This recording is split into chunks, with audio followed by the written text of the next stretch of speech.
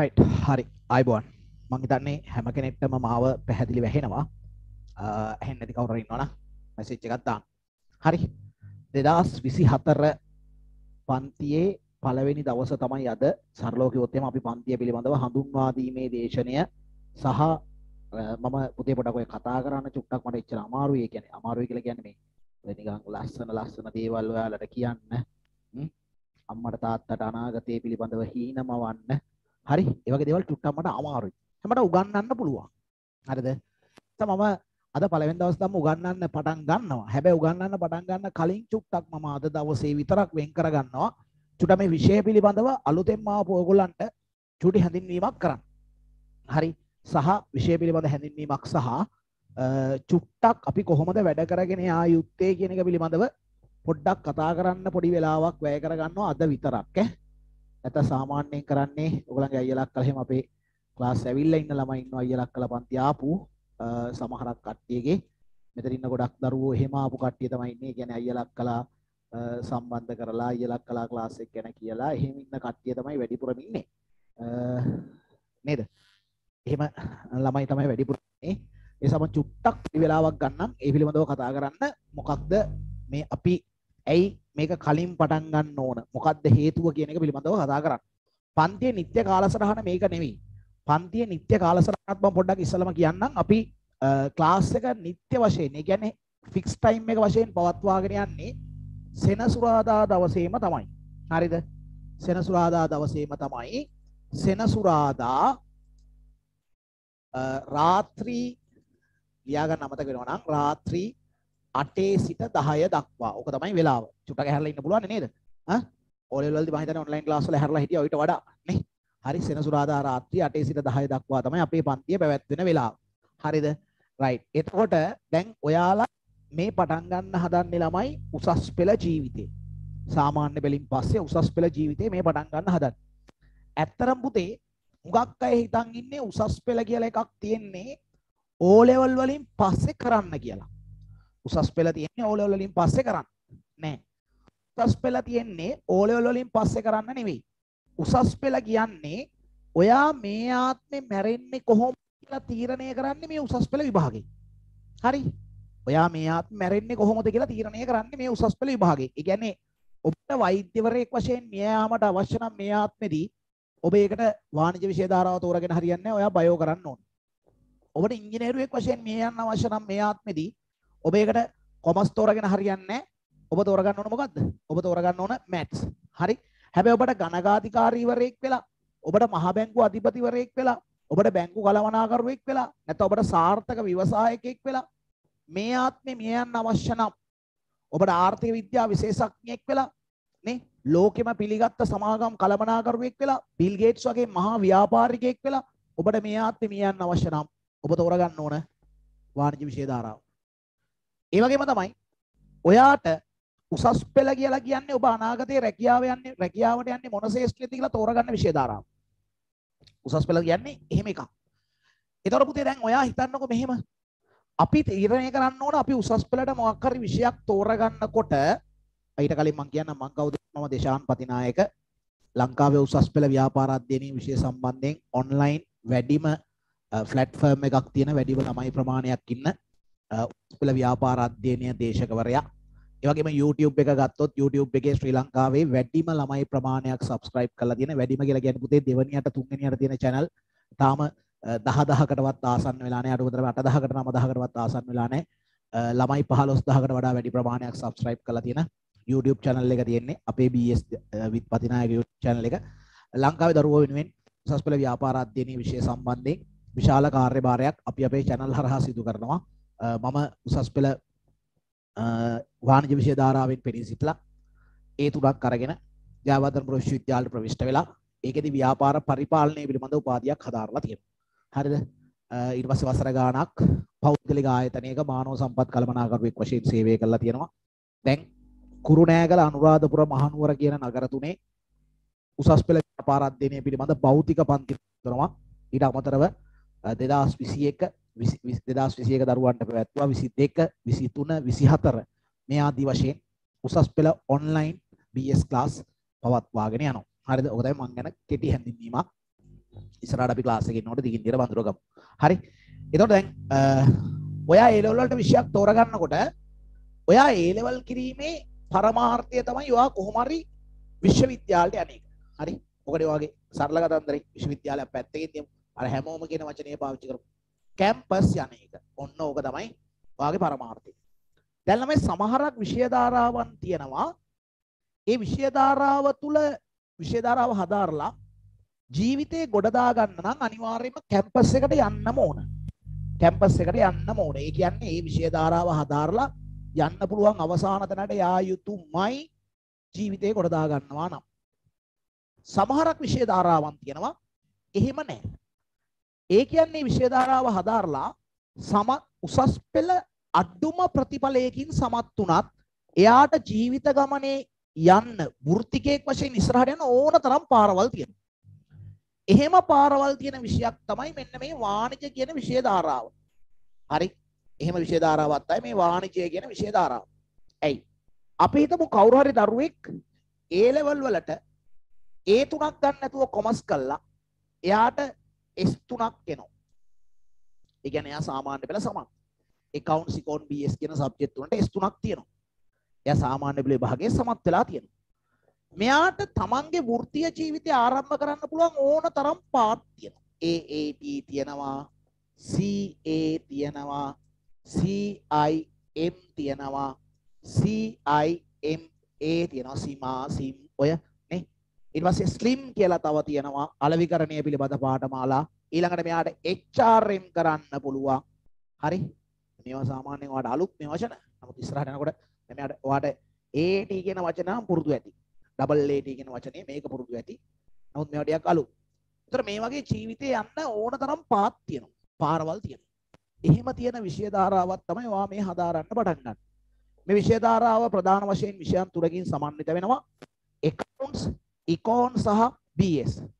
accounts, econ සහ BS. ඒතර මම උගන්වන්නේ BS ව්‍යාපාර අධ්‍යයනය. දැන් මම උගන්වන විෂය ගත්තොත් එහෙම BS සබ්ජෙක්ට් එක මොන වගේ එකක්ද? මේක මොන වගේ එකක්ද? BS කියන්නේ මොන වගේ සබ්ජෙක්ට් එකක්ද? පුතේ BS කියන සබ්ජෙක්ට් එක ගත්තොත් එක පැත්තකට දාගත්තොත් accounts අනිත් පැත්තකට දාගත්තොත් econ මෙන්න මේ ගිනුම්කරණය සහ ආර්ථික විද්‍යාව කියන විෂයන් දෙකට මග පෙන්වන විෂය තමයි ව්‍යාපාර අධ්‍යයනය කියලා කියන්නේ. ගිනුම්කරණය සහ ආර්ථික විද්‍යාව කියන විෂයන් දෙකට මග පෙන්වන විෂය තමයි මොකද්ද ව්‍යාපාර අධ්‍යයනය කියන විෂය. ඇයි ව්‍යාපාර අධ්‍යයනය කියන විෂයේදී අපි ඉගෙන ගන්න දේවල් ආර්ථික විද්‍යාවේදී ඔයා මේක විද්‍යාත්මකව විද්‍යාත්මකව භාවිතා කරනවා. ඒතර විද්‍යාත්මකව භාවිතා කරන්න කලින් ඒකේ මූලාරම්භය දැනගන්න ඕනේ. ඒක දැනගන්න ඔයාගේ හදන්නේ මොකෙන්ද? BS කියන සබ්ජෙක්ට් එකේ. accounts වලදී මොකද කරන්නේ? BS කියන සබ්ජෙක්ට් එකේ ඔයා ඉගෙන ගන්න ඒවා accounts වලදී ඉලක්කම් බවට පත් කරනවා. හරිද? මේක මේ ගණන් කිව්වයින් පස්සේ පොඩි අවුලක් ඒකයි මම මේ ඉලක්කම් කියලා ගත්තේ. නමුත් මං යන්න ඇත්ත වචනේම ඇත්ත වචනේ තමයි මේක ගණිතය බවට පත් කරනවා. හැබැයි මතක තියාගන්න මේ accounts වලදී අවශ්‍ය වන ගණිතය එකතු කිරීම නැත්නම් හුඟක් කට්ටිය ගණන් කරන් බයයි. එකතු කිරීම, අඩු කිරීම, ඊළඟට බෙදීම, වැඩි කිරීම ඔන්න ඔය ගණන් ටික තමයි අවශ්‍ය වෙන්නේ.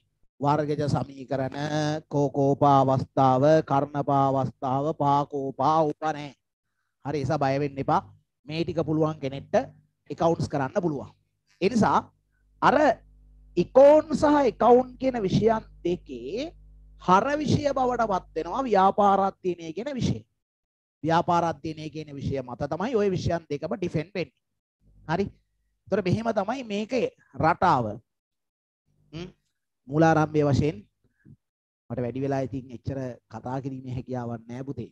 සහ අනිත් එක තමයි මම පන්ති ඇතුලේ සාමාන්‍යයෙන් අම්මා ගැන තාත්තා ගැන එහෙම කතා කරන්නේ නැහැ. හරිද? ඒකට හේතුවක් තියෙනවා. ඒකට හේතුව තමයි දැන් අපි සාමාන්‍යයෙන් ඔයාලා O level ගුරු එහෙම එහෙම කරනව නේද?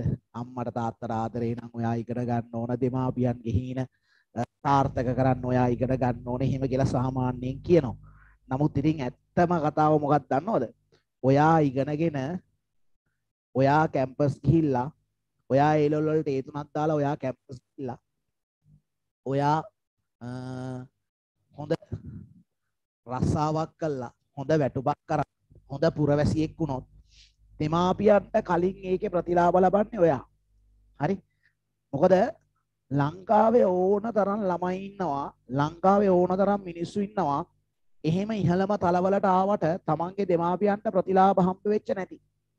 තමන්ගේ දෙමාපියන්ට ප්‍රතිලාභ දීපු නැති. එහෙම ඕන තරම් මිනිස්සු ඉන්නවා ලංකාවේ. තේරුණාද? ඒ කියන්නේ ඔයා ජීවිතේ ගොඩ ගියා කියලා දෙමාපියන්ට ප්‍රතිලාභ ලැබෙන්නේ නැහැ. ඒගොල්ලන්ට ලැබෙන එකම සතුට ඒගොල්ලෝ ඒගොල්ලන් ලැබෙන එකම ප්‍රතිලාභය තමයි ඔයාගේ සාර්ථකත්වය දිහා බලලා ඒගොල්ලෝ hina වෙන එක. ඒගොල්ලෝ සතුටු වෙන එක. හරි ඒගොල්ලන්ගේ මූණේ ඇස් වලින් වැටෙන සතුටු කඳුළු. එච්චරයි සමහරක් දෙමාපියන්ට ඉතුරු වෙලා තියෙන්නේ. නැත්තම් අපේ පුතා තමයි මේ සමාගමේ මේ අහවල් නිලධාරියා. අපේ පුතා ලංකාවේ මේ කම්පැනියේ ලංකාවේ දෙවනියා.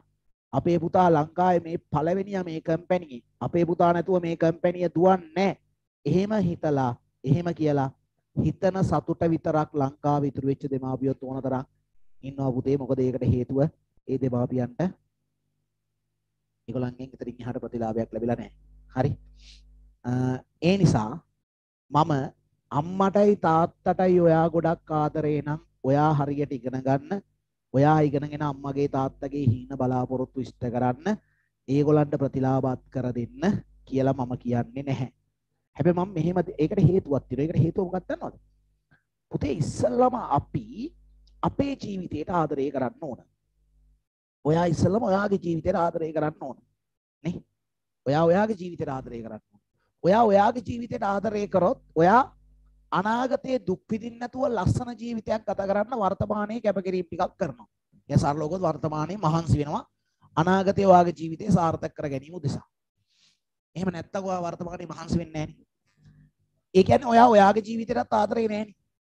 තමන්ගේ ජීවිතයටත් ආදරේ නැති කෙනෙක් කොහොමද අනිත් අයගේ ජීවිතවලට ආදරේ වෙන්නේ? එහෙම වෙන්නේ නැහනේ. අන්න ඒ නිසා තමයි මම ඔය කියන සාකච්ඡාවට යන්නේ නැත්තේ. හරි? ඒ නිසා මම අද පළවෙනි දවසේ ඉඳන්ම උගන්වන්න පටන් ගන්නවා. තේරුණාද? ඔයාලා accounts econ පන්ති වලට ගියාම ඒ සර්ලත් කියලා දෙනවනේ ඔයාලට මේ විෂයන් තුන මොකක්ද? විෂයන් තුන කොහොමද හැදෙන්නේ කියන එක කියලා දෙනවා. නිසා එතනින් මේ දේශනය අහගන්න පුළුවන්. නිසා මම පළවෙනි දම උගන්වන්න පටන් ගන්නම්. පුළුවන් දේ ඒක මම පුළුවන් දේ කරන්න. බැරි දේවල් කරන්න ගිහිල්ලා නිකන් නාගන්නේ නැතුව. හරි. right. පන්තිය පටන් ගන්න චුට්ටකට කලින් මම අපන්තිය තුළ දෙන නිබන්ධන පෙළ මම පෙන්වන්නම් පොඩ්ඩක් ඉන්න. ඒක මම පෙන්වන්නම්. චුට්ටක් දාන්න බලන්න මේ බලක් කොහෙද දිස්ත්‍රික්ක කියලා chat එකට චුට්ටක් දාන්න.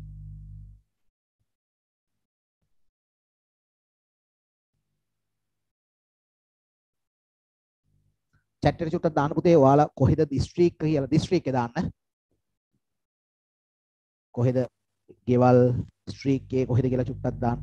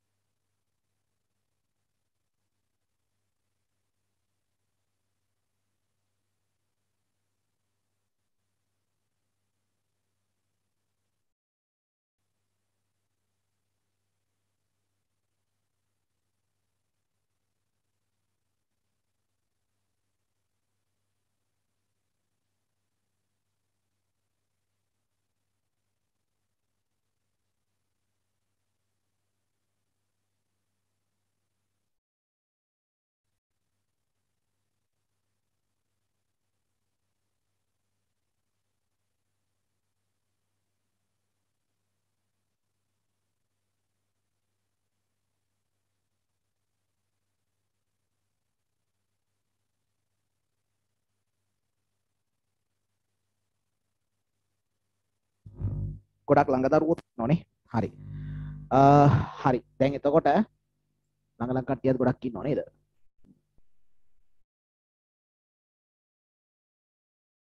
ගම්පහ කළම්බු වැඩි නේ රත්නපුර රත්නපුර පතුල්ල පතුල්ල කුරුණෑගල රත්නපුර කැන්ඩි කුරුණෑගල මහව කළම්බු මහනුවර කළුතර කෑගල්ල හම්බන්තොට ගම්පහ රත්නපුර ගොඩක වෙලා කුරුණෑගල කැන්ඩි ගම්පොල ගම්පහ කැන්ඩි අනුරාධපුර පොළොන්නරු රයිට් හරි. පළවෙනි දවසේ මෙහෙම තමයි ළමයි චුට්ටක් ඉන්නේ. පස්සේ තමයි ටික ටික වැඩි වෙන්නේ. හරි. ආ කාරණා දෙකක් තියෙනවා. ඒ කාරණා දෙක කියලා පටන් ගන්න ඈ මේ තමයි අපේ පන්තිය ඇතුළේ දෙන නිබන්ධන. හරි. මේ තමයි පන්තිය ඇතුළේ දෙන නිබන්ධන. ඊටාම ඉහළ ගුණාත්මක නිබන්ධන ටිකක් දෙනවා. පන්තිය ඇතුළේ මේ පන්තිය ඇතුළේ අපේ පන්තිය ඇතුළේ ලබා දෙන නිබන්ධන. හරි. මෙතන කීපයක් විතරයි තියෙන්නේ. කීපයක් විතරයි තියෙන ටියුට්ස් මේ තමයි ක්ලාස් වල දෙන ටියුට්ස් කීපයක්. හරි. කොට මෙවැනි නිබන්ධන ඔයාට පන්තිය පුරාවට ලැබෙනවා පාඩම් මාලාවන් සඳහා. මෙවැනි නිබන්ධන පෙලක් ලැබෙනවා. හරි. ඇත්තම ළමයි මේවා වැඩක් නැහැ. හරිද? ඇත්තට මේවා වැඩක් නැහැ. මොකද හේතුව මේ මේවා වැඩක් නැහැ කියලා කියන්නේ මේවා ඇතුලේ තියෙන කරුණු තමයි විභාගෙදී අහන්නේ මේ ටියුට් එකේ ක්වොලිටි එක ගැන විභාගෙදී අහන්නේ නැහැ. හරි? ඔය ඇතුළේ තියෙන කරුණු තමයි අහන්නේ. චුට්ටක් මෙන්න මේ කාරණා ටික ඉතා අතිශය වැදගත් නිසා ඒ අතිශය වැදගත් කාරණා ටික පොඩ්ඩක් කියන්නම්. අතිශය වැදගත් කාරණා ටික චුට්ටක් අහගන්න. හරි? අතිශය වැදගත් කාරණා ටික. හොඳේ? සාමාන්‍යයෙන් අපේ පන්ති වල රටාව වෙනස්. ඒ කියන්නේ සාමාන්‍යයෙන් වෙන්නේ ගුරුවරයා කියලා දෙනවා ළමයා එක අහන් ඉන්නවා. ඊට පස්සේ ළමයා තනියෙන් ළමයා ගුරුවරයා කිව්වම ලියනවා. අපත් එහෙම නැහැ. ඔයාලා YouTube එකේ එහෙම තියෙන වීඩියෝ දැකලා තියෙනවා නම් සාමාන්‍යයෙන් ඔයාලා කොමර්ස් වලට අද අත තිබ්බත් ඔයාලට මැනේජ්මන්ට් පාඩමක වීඩියෝ එකක් බැලුවොත් ඔයාලට තේරෙනවා. මැනේජ්මන්ට් පාඩමක වීඩියෝ එකක් බැලුවොත් කලමනාකරණය කියන්නේ මොකක්ද කියන නිර්වචනය මේක ඇතුළේ තියෙන සංකල්ප තේරෙනවා. හරි. අන්න ඒක තමයි තේරෙන්න උගන්වනවා කියන එකේ අදහස. සහ ඒකට උදාහරණ ඕන තරම් ඔය YouTube channel එකේ තියෙනවා. තේරෙන්න උගන්වනවා. හරිද? ඒ වගේම පන්තිය ඉවර වුණාම ආය අමුතුවෙන් පාඩම් කරන්න දෙයක් නෑ. මතක හිටින්න උගන්නනවා පන්ති ඉවර වෙනකොටම පාඩම මතක හිටින විදිහට ඔයාට උගන්ලා තියෙනවා. හරි. තේරෙන්න උගන්නනවා පාඩම ඉවර වෙනකොට පන්ති ඉවර වෙනකොට ඔයාට ඒක මතක හිටින්න උගන්නලා තියෙනවා. පැහැදිලි? එක තමයි තේරෙන්න උගන්න එක. දෙක තමයි පන්ති ඉවරනකොට මතක හිටින්න උගන්නලා තියෙන එක. ඊළඟට ඔය මාසික විභාග පවත්තන ඒවා ඒවා ගැන මම අමුතුවෙන් කතා කරන්න යන්නේ නැහැ සාමාන්‍යයෙන් ඒවා අද මේ වෙනකොට සාමාන්‍ය පන්ති ඇතුලේ සාමාන්‍යයෙන් සිදු වෙනවා හරි? තොර ඒවට වඩා අපේ විශේෂත්වය මොනවද කියලානේ කතා කරන්න ඕන. ඒක තමයි එක. දෙක තමයි නිර්වචන සහ මේ සියල්ල රූප සටහන් මගින්. ඒ කියන්නේ පොඩි පොඩි ඊතල දාලා පොඩි ඉරි කෑලි වලින් පොඩි මිනිස් රූප වලින් පොඩි ගෙවල් වගේ රූප වලින් මතක තියාගන්න උගන්වනවා. හරිද? ඔක තමයි දෙවෙනි කාරණේ. එතකොට ඒ කියන්නේ අර නිර්වචනයක් ගත්තම මේ නිර්වචනයේ ලියපු දිග ඡේදයක් ලියපු නිර්වචනයක් න්යාව ඉගෙන ගන්න. ඒ ඡේදයක් ලියපු නිර්වචනයක් නැවත නැවත නැවත නැවත කියවලා කියවලා කියවලා කියවලා කියවලා කියවලා පාඩම් කරගන්න අමාරුයි. හැබැයි නිර්වචනයක් ඇඳලා කොහොමද මතක තියාගන්නේ කියන එක පිළිබඳව අපි කියලා දෙනවා. ඒක විශේෂ කාරණයක් සාමාන්‍යයෙන් අපේ පන්ති වලට විතරක් ආවේනික වෙච්ච PS ජාතික පාසල නමින් තමයි අපි පන්තිය අරගෙන යන්නේ. අපේ ටයිටල් එකේ ඒක ජාතික ප්‍රතිඵලයක් උදෙසා BS ජාතික පාසල ඒ ජාතික ප්‍රතිඵලය උදෙසා ඒ පන්තිය ආකාරයට ක්‍රියාත්මක වෙනවා. ඒ වගේම තමයි මේ පන්තිය මේ මාසය පුරාවට සම්පූර්ණයෙන්ම නොමිලේ පැවැත්වෙනවා කිසිදු ගාස්තු අය කිරීමක් සිදු කරන්නේ නැහැ. සම්පූර්ණයෙන්ම නොමිලේ. හරිද? එතකොට ඔයාට මේ මාසේ නොමිලේ ඇවිල්ලා බලන්න පුළුවන් මං උගන්වන හොඳද හරියනවද ඔයාගේ වැඩේට ගැලපෙනවද ඔයාට ෂූට් වෙනවද කියන එක බලා ගන්න පුළුවන්. හරිද? සම්පූර්ණයෙන්ම නොමිලේ මේ මාසේ කිසිදු ගාස්තු අය කිරීමකින් තොරව. අනිත් එක තමයි පන්තියට කාට හරි දරුවෙකුට යම් දවසක එන්න බැරි වුණොත් ඒ කියන්නේ හැම සතියෙම පන්ති වරුණයින් පස්සේ ඔයාට රෙකෝඩින්ග්ස් ලැබෙනවා. පන්තිය රෙකෝඩින් එක ඔයාට ලැබෙනවා. හරි? එතකොට මේ රෙකෝඩින් වර්ග දෙකකින් හම්බෙනවා එකක් තමයි YouTube රෙකෝඩින් එකක් හම්බෙනවා. අනිත් එක තමයි Zoom රෙකෝඩින් එකක් හම්බෙනවා. එතකොට රෙකෝඩින් එක ඔයාට බලන්න පුළුවන් ඔයාට ලේසි පහසු වෙලාවක බලන්න පුළුවන්. මොකද දැන් සමහරක් වෙලාවට අපි පන්තිය තියෙනකොට සමහරක් පැතිවල කරන්ට් එක නැහැ. සමහරක් පැතිවල කරන්ට් එක තියෙනවා. ඒතර කරන්ට් එක නැති දරුවෙක්ට අපිට මොකක් හරි ගමනක් ගියා එදා හදිස්සි වැඩක් යෙදුනා. ඒතර ඒ දවසේ උගන්වපු පාඩම මොකක්ද කියන එක පිළිබඳව රෙකෝඩින්ග්ස් ලැබෙන නිසා රෙකෝඩින්ග්ස් බලලා ඊළඟ දවසේ පාඩමට සෙට් වෙන්න පුළුවන්. හරි? ඒතර YouTube සහ Zoom කියන ආකාර දෙකෙන්ම රෙකෝඩින් වශයෙන් පන්තිය ලැබෙනවා. ඒවා වාර ගණනක් නැහැ. ඕන තරම් වාර ගන්නක් බලන්න පුළුවන් කිසි ප්‍රශ්නයක් නැතුව රෙකෝඩින් එක ඕන තරම් වාර ගන්නක් නැරඹීමේ හැකියාව තියෙනවා ඔබට කැමති වාර ගන්නක් බලන්න පුළුවන් අපි එහෙම සීමා කරලා නැහැ ඊළඟට නිබන්ධනය ගත්තයින් පස්සේ මේ මාසේ නිබන්ධනයක් ලබා දෙන්නේ නැහැ. පළවෙනි පාඩමට අදාළ නිබන්ධනය ලබන මාසයේ තමයි ලබා දෙන්නේ. හරිද? එතකොට නිබන්ධන හැම ළමේටම ඔබ කිසිදු අපේ පන්ති පැවැත්වෙන ආයතනයකට ඇවිල්ලා නිබන්ධන ලබා ගැනීමේ අවශ්‍යතාවයක් නැහැ. නිබන්ධනය ගෙදට්ට එවනවා. ගෙදට්ට ටියුට් එක එවනවා. හරි? ගෙදට්ට ටියුට් එක එවනවා. ටියුට් එක ගෙදට්ට එවනවා. ඒතර පන්ති ගාස්තු මම පස්සේ කියන්නම් මොකද මේ මේ දැන් වර්තමානයේ පවතින තත්ත්වෙත් එක්ක පන්ති ගාස්තුවේ නිබන්ධනය වන්න සහ නිබන්ධන මුද්‍රණය කිරීමේ පිරිවැය ගොඩක් ඉහළ ගිහිල්ලා තියෙනවා. ඒ අනුව තමයි පන්ති ගාස්තු තීරණය කරන්නේ. අනිත් එක තමයි ඔයා පන්ති ගාස්තු ගෙවුවන් පස්සේ ටියුට් එක ගෙදරට ආම රුපියලක්වත් ආයේ ගෙවන්න නැහැ. කුරියයකටවත් කාටවත් රුපියලක්වත් ගෙවන්න නැහැ. ටියුට් එක ගෙදරට එනවා. ඊළඟට මේ මාසේ ඔයගොල්ලන් අපි රෙජිස්ටර් කරන්නේ ලබන මාසේ රෙජිස්ටර් කරනවා. අපි පන්ති පවත්වන්නේ සාමාන්‍යයෙන් වෙබ් අඩවියක් කරහා click to class කියලා වෙබ්සයිට් එකක් කරහා එතකොට මේ click to class කියන වෙබ්සයිට් එකේ ඔයාලව ලබන සතියේ රෙජිස්ටර් කරනවා. ලබන මාසේ රෙජිස්ටර් කරනවා. මේ මාසේ රෙජිස්ටර් කරන්නේ මේ මාසේ ওই විදිහටම group එකේ ඉන්න group එකට link එක වැටෙනවා. හරි. එහෙනම් පටන් ගමුද වැඩේ. උගන්නන්න. හරි. මම ආසම කෑල්ල. ඒකට පටන් ගමු. මොකද මට හොඳින්ම කරන්න පුළුවන් ඒක. රයිට් ළමයි පොතක් හරි කොලයක් හරි මොකක් හරි ගන්න. මේ ටික ආවම ඔයා ටියුට් එකේ මේ ටික සටහන් කරගන්න ඕන. ටියුට් එකේ මේ සම්බන්ධයෙන් සටහන් දාන්න ඉඩ තියෙනවා. ඒක ටියුට් එකේ සටහන් කරගන්න ඕන. ටියුට් එකේ ඒක සටහන් කරගන්නකම් පොතක් හරි කොලයක් හරි මොකක් හරියක් ගන්න අරගෙන අපි එමු පාඩමට පළවෙනි මාතෘකාව ලියන්න පළවෙනි මාතෘකාව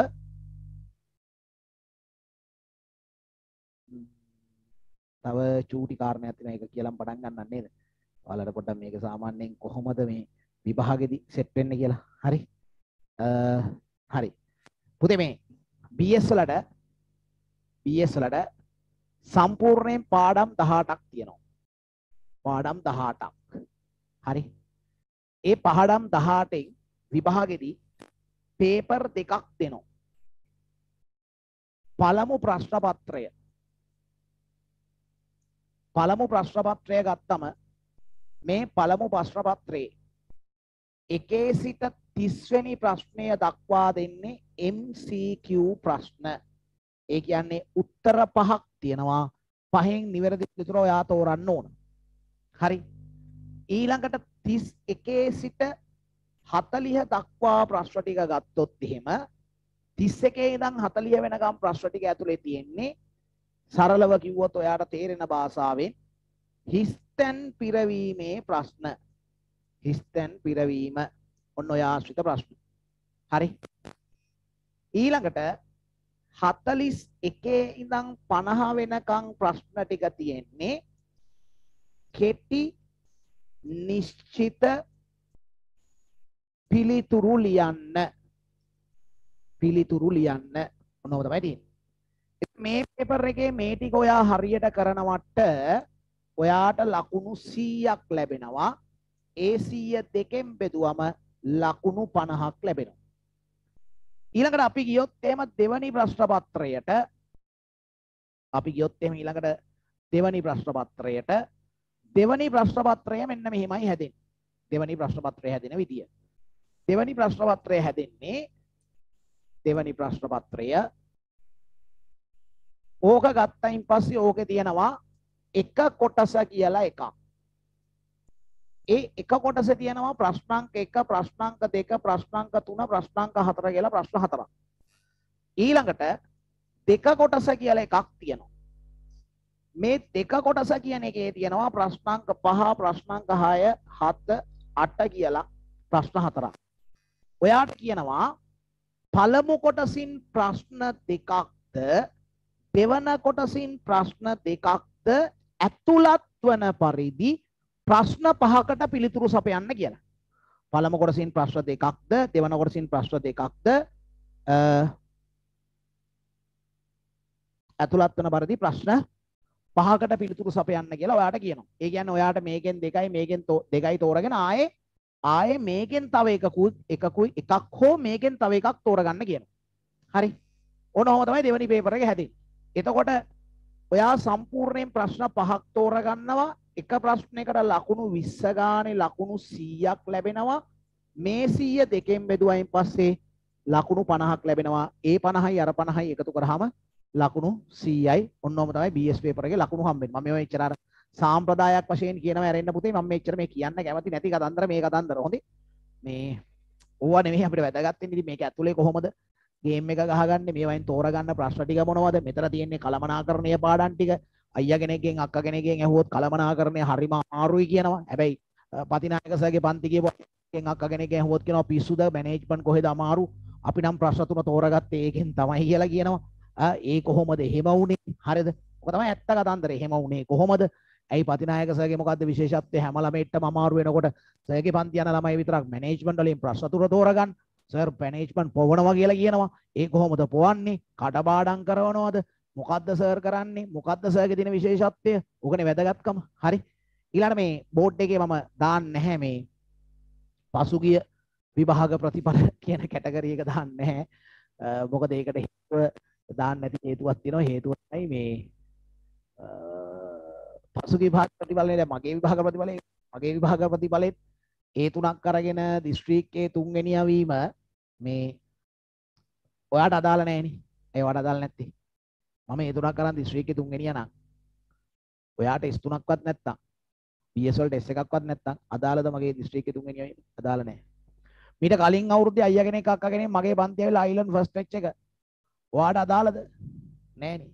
මීට කලින් අවුරුද්දේ අයියා කෙනෙක් අක්කා කෙනෙක් ඇවිල්ලා ආ අයියා කෙනෙක් අක්කා කෙනෙක් මගේ දිස්ත්‍රික් දිස්ත්‍රික් ෆස්ට් එක වෙච්ච එක දිස්ත්‍රික් හතරක දිස්ත්‍රික් ෆස්ට් එක ඔයාට අදාළද? ඔයාගේ රිසල්ට් එක ඩැමේජ් වුණොත් අදාළද? නෑනේ. ඔයා කොහේ කියලා කියන්නද? මට S එකක් තමයි BS එකට එවුනාට ඒ සර්ගේ අයිලන්ඩ් ෆස්ට් තිබිලා තියෙනවා මම ගිය සර්ගේ. මම ගිය සර්ගේ දිස්ත්‍රික් හතරක එක අවුරුද්දක දිස්ත්‍රික් ආ මේක ඔයාට අදාළ වෙන්නේ නැහැ. හැබැයි මම C එකේ S එකේ හිටපු ළමයි විශාල ප්‍රමාණයක් ඒ එකට ගෙනල්ලා තියෙනවා. සහ කැම්පස් එකක් යන්න තියා හිතලවත් නැති ළමයි කැම්පස් එකට යවලා තියෙනවා. ඒ විශ්වාසය විතරක් තියාගන්න මම ඔයාගේ ප්‍රතිඵලේ විතරක් එක කතා කරන්නම් අනාගතයේ දවසේ. හරි. රයිට්. වෙනම පොතක් දිගටම තියාගන්න සමහරක් නෝට්ස් වලට වෙනම පොතක් ඕන. නමුත් අද දවසේ ඔයා පොඩ්ඩක් මේක වක් කරේ මැනේජ් කරගන්න වෙනවා. හරි. පුතේ ලියන්න ඔය පොතේ හරි මොකේ හරි එකේ පළවෙනි මාතෘකාව පළවෙනි මාතෘකාව ඔයගලන්ගේ පළවෙනි මාතෘකාව පාඩම් 18න් පළවෙනි මාතෘකාව ලියන්න ව්‍යාපාර පදනම හා ව්‍යාපාර පදනම හා ව්‍යාපාර පදනම හා ව්‍යාපාර පදනම හා ව්‍යාපාර ක්‍රියාත්මක වන ක්‍රියාත්මක වන පරිසරය ව්‍යාපාර පදනම හා ව්‍යාපාර ක්‍රියාත්මක වන පරිසරය. ව්‍යාපාර පදනම හා ව්‍යාපාර ක්‍රියාත්මක වන පරිසරය. ලියන්න පළවෙනි මාතෘකාව. ව්‍යාපාර පදනම හා ව්‍යාපාර ක්‍රියාත්මක වන පරිසරය.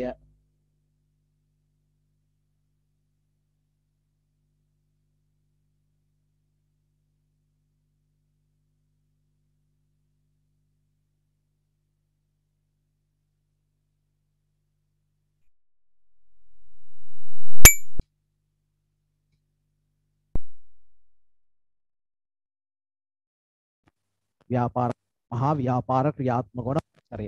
හරි. රයිට්. එහෙම ලියලා ඒ යටතේ ඒ යටතේ එකේ එක ඒ යටතේ එකේ එක කියලා අනුමාත්‍රිකා ටියුට් එකක් එනවා මේකට.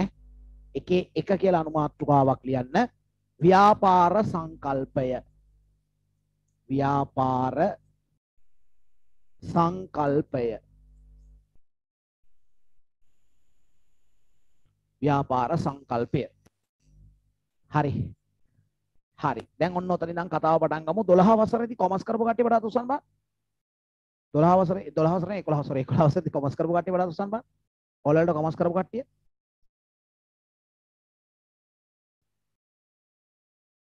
ගොඩක් ඉන්නවනේ. 150ක් විතර. පන්තියේ ඉන්න ගානේ. 50ට ආසන ප්‍රමාණයක් ඉන්න ඔබස්සත යන්නේ හරි මේ එතන අනික් කට්ටිය බය වෙන්න එපා ආස ඕලෙවල් වලට කොමර්ස් කරපු කට්ටිය ඉන්නවද කියලා ඇහුවේ මේ හරි එතකොට ඒගොල්ලන්ට විතරක් ඒ ගානට විතරක් උගන්නයි අපිට තේරෙන්නේ ආ ඒ බය වෙන්න එපා. මොකද අර හේතුව බින්දු මේ යන්නේ. O level වලට කොමර්ස් කරපු කට්ටියත් මෙහෙම හිතන්න එපා හොඳේ. අපි ඕවා ඉගෙනගෙන තියෙනවා O level වලදී. ආ යන්න එපා හොඳේ. මොකද මේ බින්දුවේ ඉඳන් යන්නේ. 0 වල ඉඳන් යනවා. හරිද? right. ළමයි අපි පොඩ්ඩක් කතා කරමුද මේ ව්‍යාපාර කියන්නේ මොකක්ද කියලා ගැන. චුට්ටක් ඉස්සලා කතා කරමු. ව්‍යාපාර කොච්චර අපේ ජීවිතේට වැදගත්ද? ව්‍යාපාර. නේ? දැන් ඔබ හිතුවද ඔබේ අම්මයි තාත්තෙන් චුට්ටක් මේක අහන්නකෝ. අම්මයි තාත්තයි හිතුවද අපේ රටේ මිනිස්සු හිතුවද ඩොලර් නැති වුණොත් අපිට කන්න නැති වෙනවා කියලා? හිතුවද?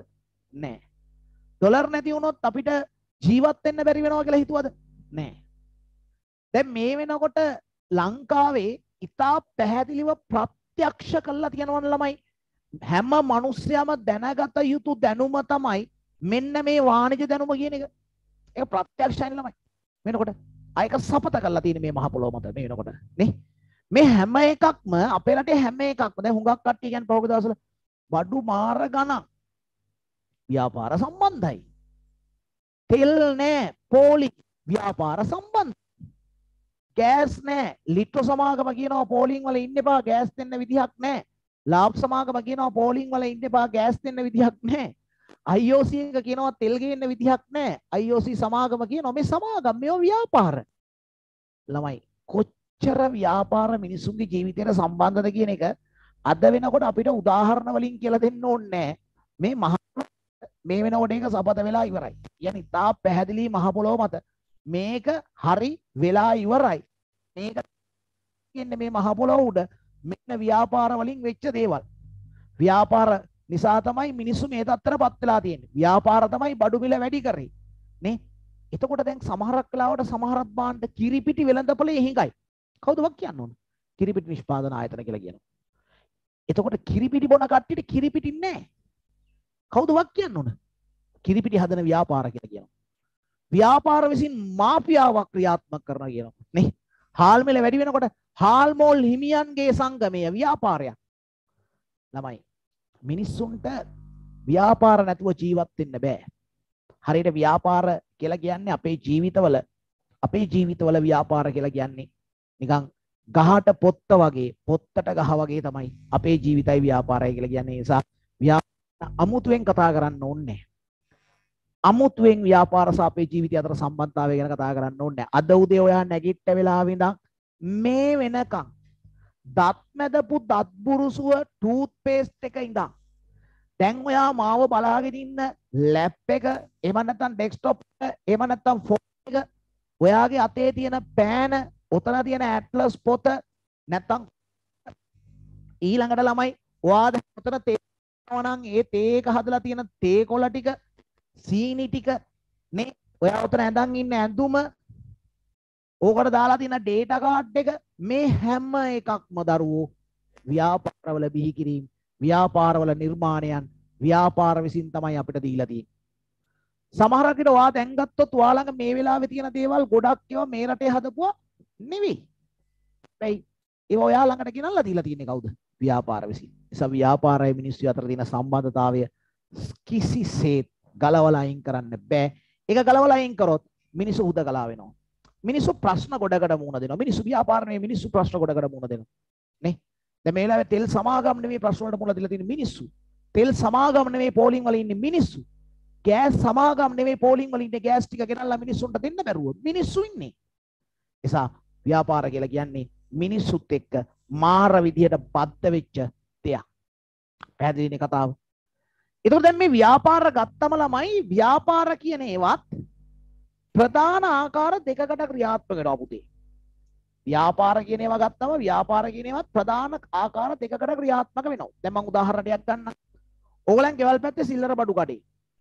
සිල්ලර බඩු විකුණන්නේ ලාභයක් අපේක්ෂා කරගෙන. මුදලාලි බලන අවසර ලාභයක් තියෙනවද කියලා. ලිට්‍රෝ ගෑස් සමාගම ගෑස් විකුණන්නේ ලාභයක් අපේක්ෂා කරගෙන. නේ? ජාත්‍යන්තර පාසලක් ළමයින්ට අධ්‍යාපනය දෙන්නේ ලාභයක් අපේක්ෂා කරගෙන. නේද? එහෙමනේ. ලාෆ් එක IOC එක ගෑස් විකුණන්නේ ඉන්ධන විකුණන්නේ ලාභයක් අපේක්ෂා කරගෙන. එහෙමයි. හැබැයි ළමයි ඔයගලන් ගෙවල් පැත්තේ තියෙන ඔයගලගේ දිස්ත්‍රික්කේ තියෙන රජයේ රෝහල ලාභයක් අපේක්ෂා කරගෙන නෙවෙයි මිනිසුන්ට ප්‍රතිකාර කරන්නේ. හැබැයි ආශ්‍රියක ප්‍රතිකාර කරන්නේ ලාභයක් අපේක්ෂා කරගෙන. ලාභය කියලා කියන්නේ ව්‍යාපාරයක ආදායමෙන් වියදම අඩු කරයින් පස්සේ ඉතුරු වෙන ටිකට කියන්නේ ලාභය කියලා. ආදායම 100යි වියදම 50යි 100න් 50ක් අඩු කරා ඉතුරු වෙනවා 50ක් මේ 50 ලාභය. එහෙම එකක් අපේක්ෂා කරගෙන. හැබැයි ආසිරි රෝහලට රෝහලෙන් අපි බෙහෙත් ගත්තම අපි බිලකට සල්ලි දෙනවා. හැබැයි අපි ගිහිල්ලා ගත්තොත් රජයේ රෝහලෙන් අපි බිලක් ගෙවන්නේ නැහැ අවසානයේ. එහෙම ගෙවන්නේ නැහනේ. ඔබේ පාසලේ ටර්ම් එකට ගාණක් අය කරන්නේ නැහැ. එසා බිලක් ගෙවන්නේ නැහැ. අර පහසුකම් ආරක්ෂක ගාස්තු මොකක්ද කියලා එකක් අය කර අපි යන කාල නම් දැන් ඔයාලගෙන් අය කරනවත් දන්නේ නැහැ. එහෙම එකක් අය කරන්නේ නැහැ පුතේ. ඒසා ලාභයක් නැහැ. එසා ලාභයක් නැහැ නේ. ගමේ මරණාධාර සමිතියට ලාභයක් නැහැ. ක්‍රීඩා සමාජයට ලාභයක් නැහැ. එහෙනම් ව්‍යාපාර ක්‍රියාත්මක වෙනවා ප්‍රධාන වශයෙන් අරමුණු දෙකක් පදනම් කරගෙන. එකක් තමයි ලාභ අරමුණු කරගෙන. අරමුණ ලාභය. අනිත් එක තමයි ලාභ අරමුණු කර නොගත් ලාභ අරමුණු කර නොගත් ඔන්න ඔය කියන ආකාර දෙකට ව්‍යාපාර ක්‍රියාත්මක වෙනවා. එකක් මොකද්ද ලාභය අරමුණු කරගෙන අනිත් එක ලාභ අරමුණු කරගන්න නැතුව. එහෙනම් ලාභ අරමුණු කරගනිමින් සහ ලාභ අරමුණු කරගන්න නැතුව කියන ආකාර දෙකටම ව්‍යාපාර ක්‍රියාත්මක වෙනවා. දැන් අපිට හරි වැදගත් වෙනවා මේ පාඩම ඉස්සරහට යන්න මුලින්ම ව්‍යාපාර අධ්‍යයනය කියන විෂයනේ. ව්‍යාපාර පිළිබඳව අධ්‍යයනය කරන විෂය. එන ව්‍යාපාර පිළිබඳව අධ්‍යයනය කරන්න කලින් ව්‍යාපාරයක් කියන්නේ මොකක්ද කියන එක පිළිබඳව අපිට අධ්‍යයනයක් තියෙන්න ඕන. නැත්නම් අපි කොහොමද ව්‍යාපාර අධ්‍යයනය කරන්නේ? ව්‍යාපාර පිළිබඳ අධ්‍යයනය කරන්න කලින් ව්‍යාපාරයක් කියන්නේ මොකක්ද කියන එක පිළිබඳව අපිට අධ්‍යයනයක් තියෙන්න බෑ. එහෙම නැතුව අපිට ව්‍යාපාර අධ්‍යයනය කරන්න බෑ. හරි. එසා පුතේ ව්‍යාපාර සංකල්ප අනුමාතෘකාවක් ලිව්වනේ. ඊට යටින් ලියන්න ව්‍යාපාරයක් යනු කියලා අනුමාතෘකාවක්. ව්‍යාපාරයක් යනු.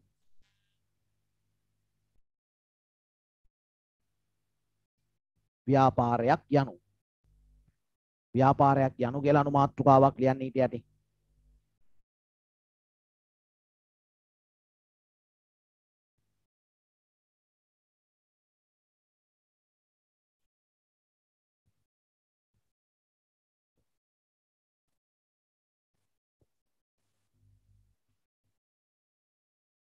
හරිද?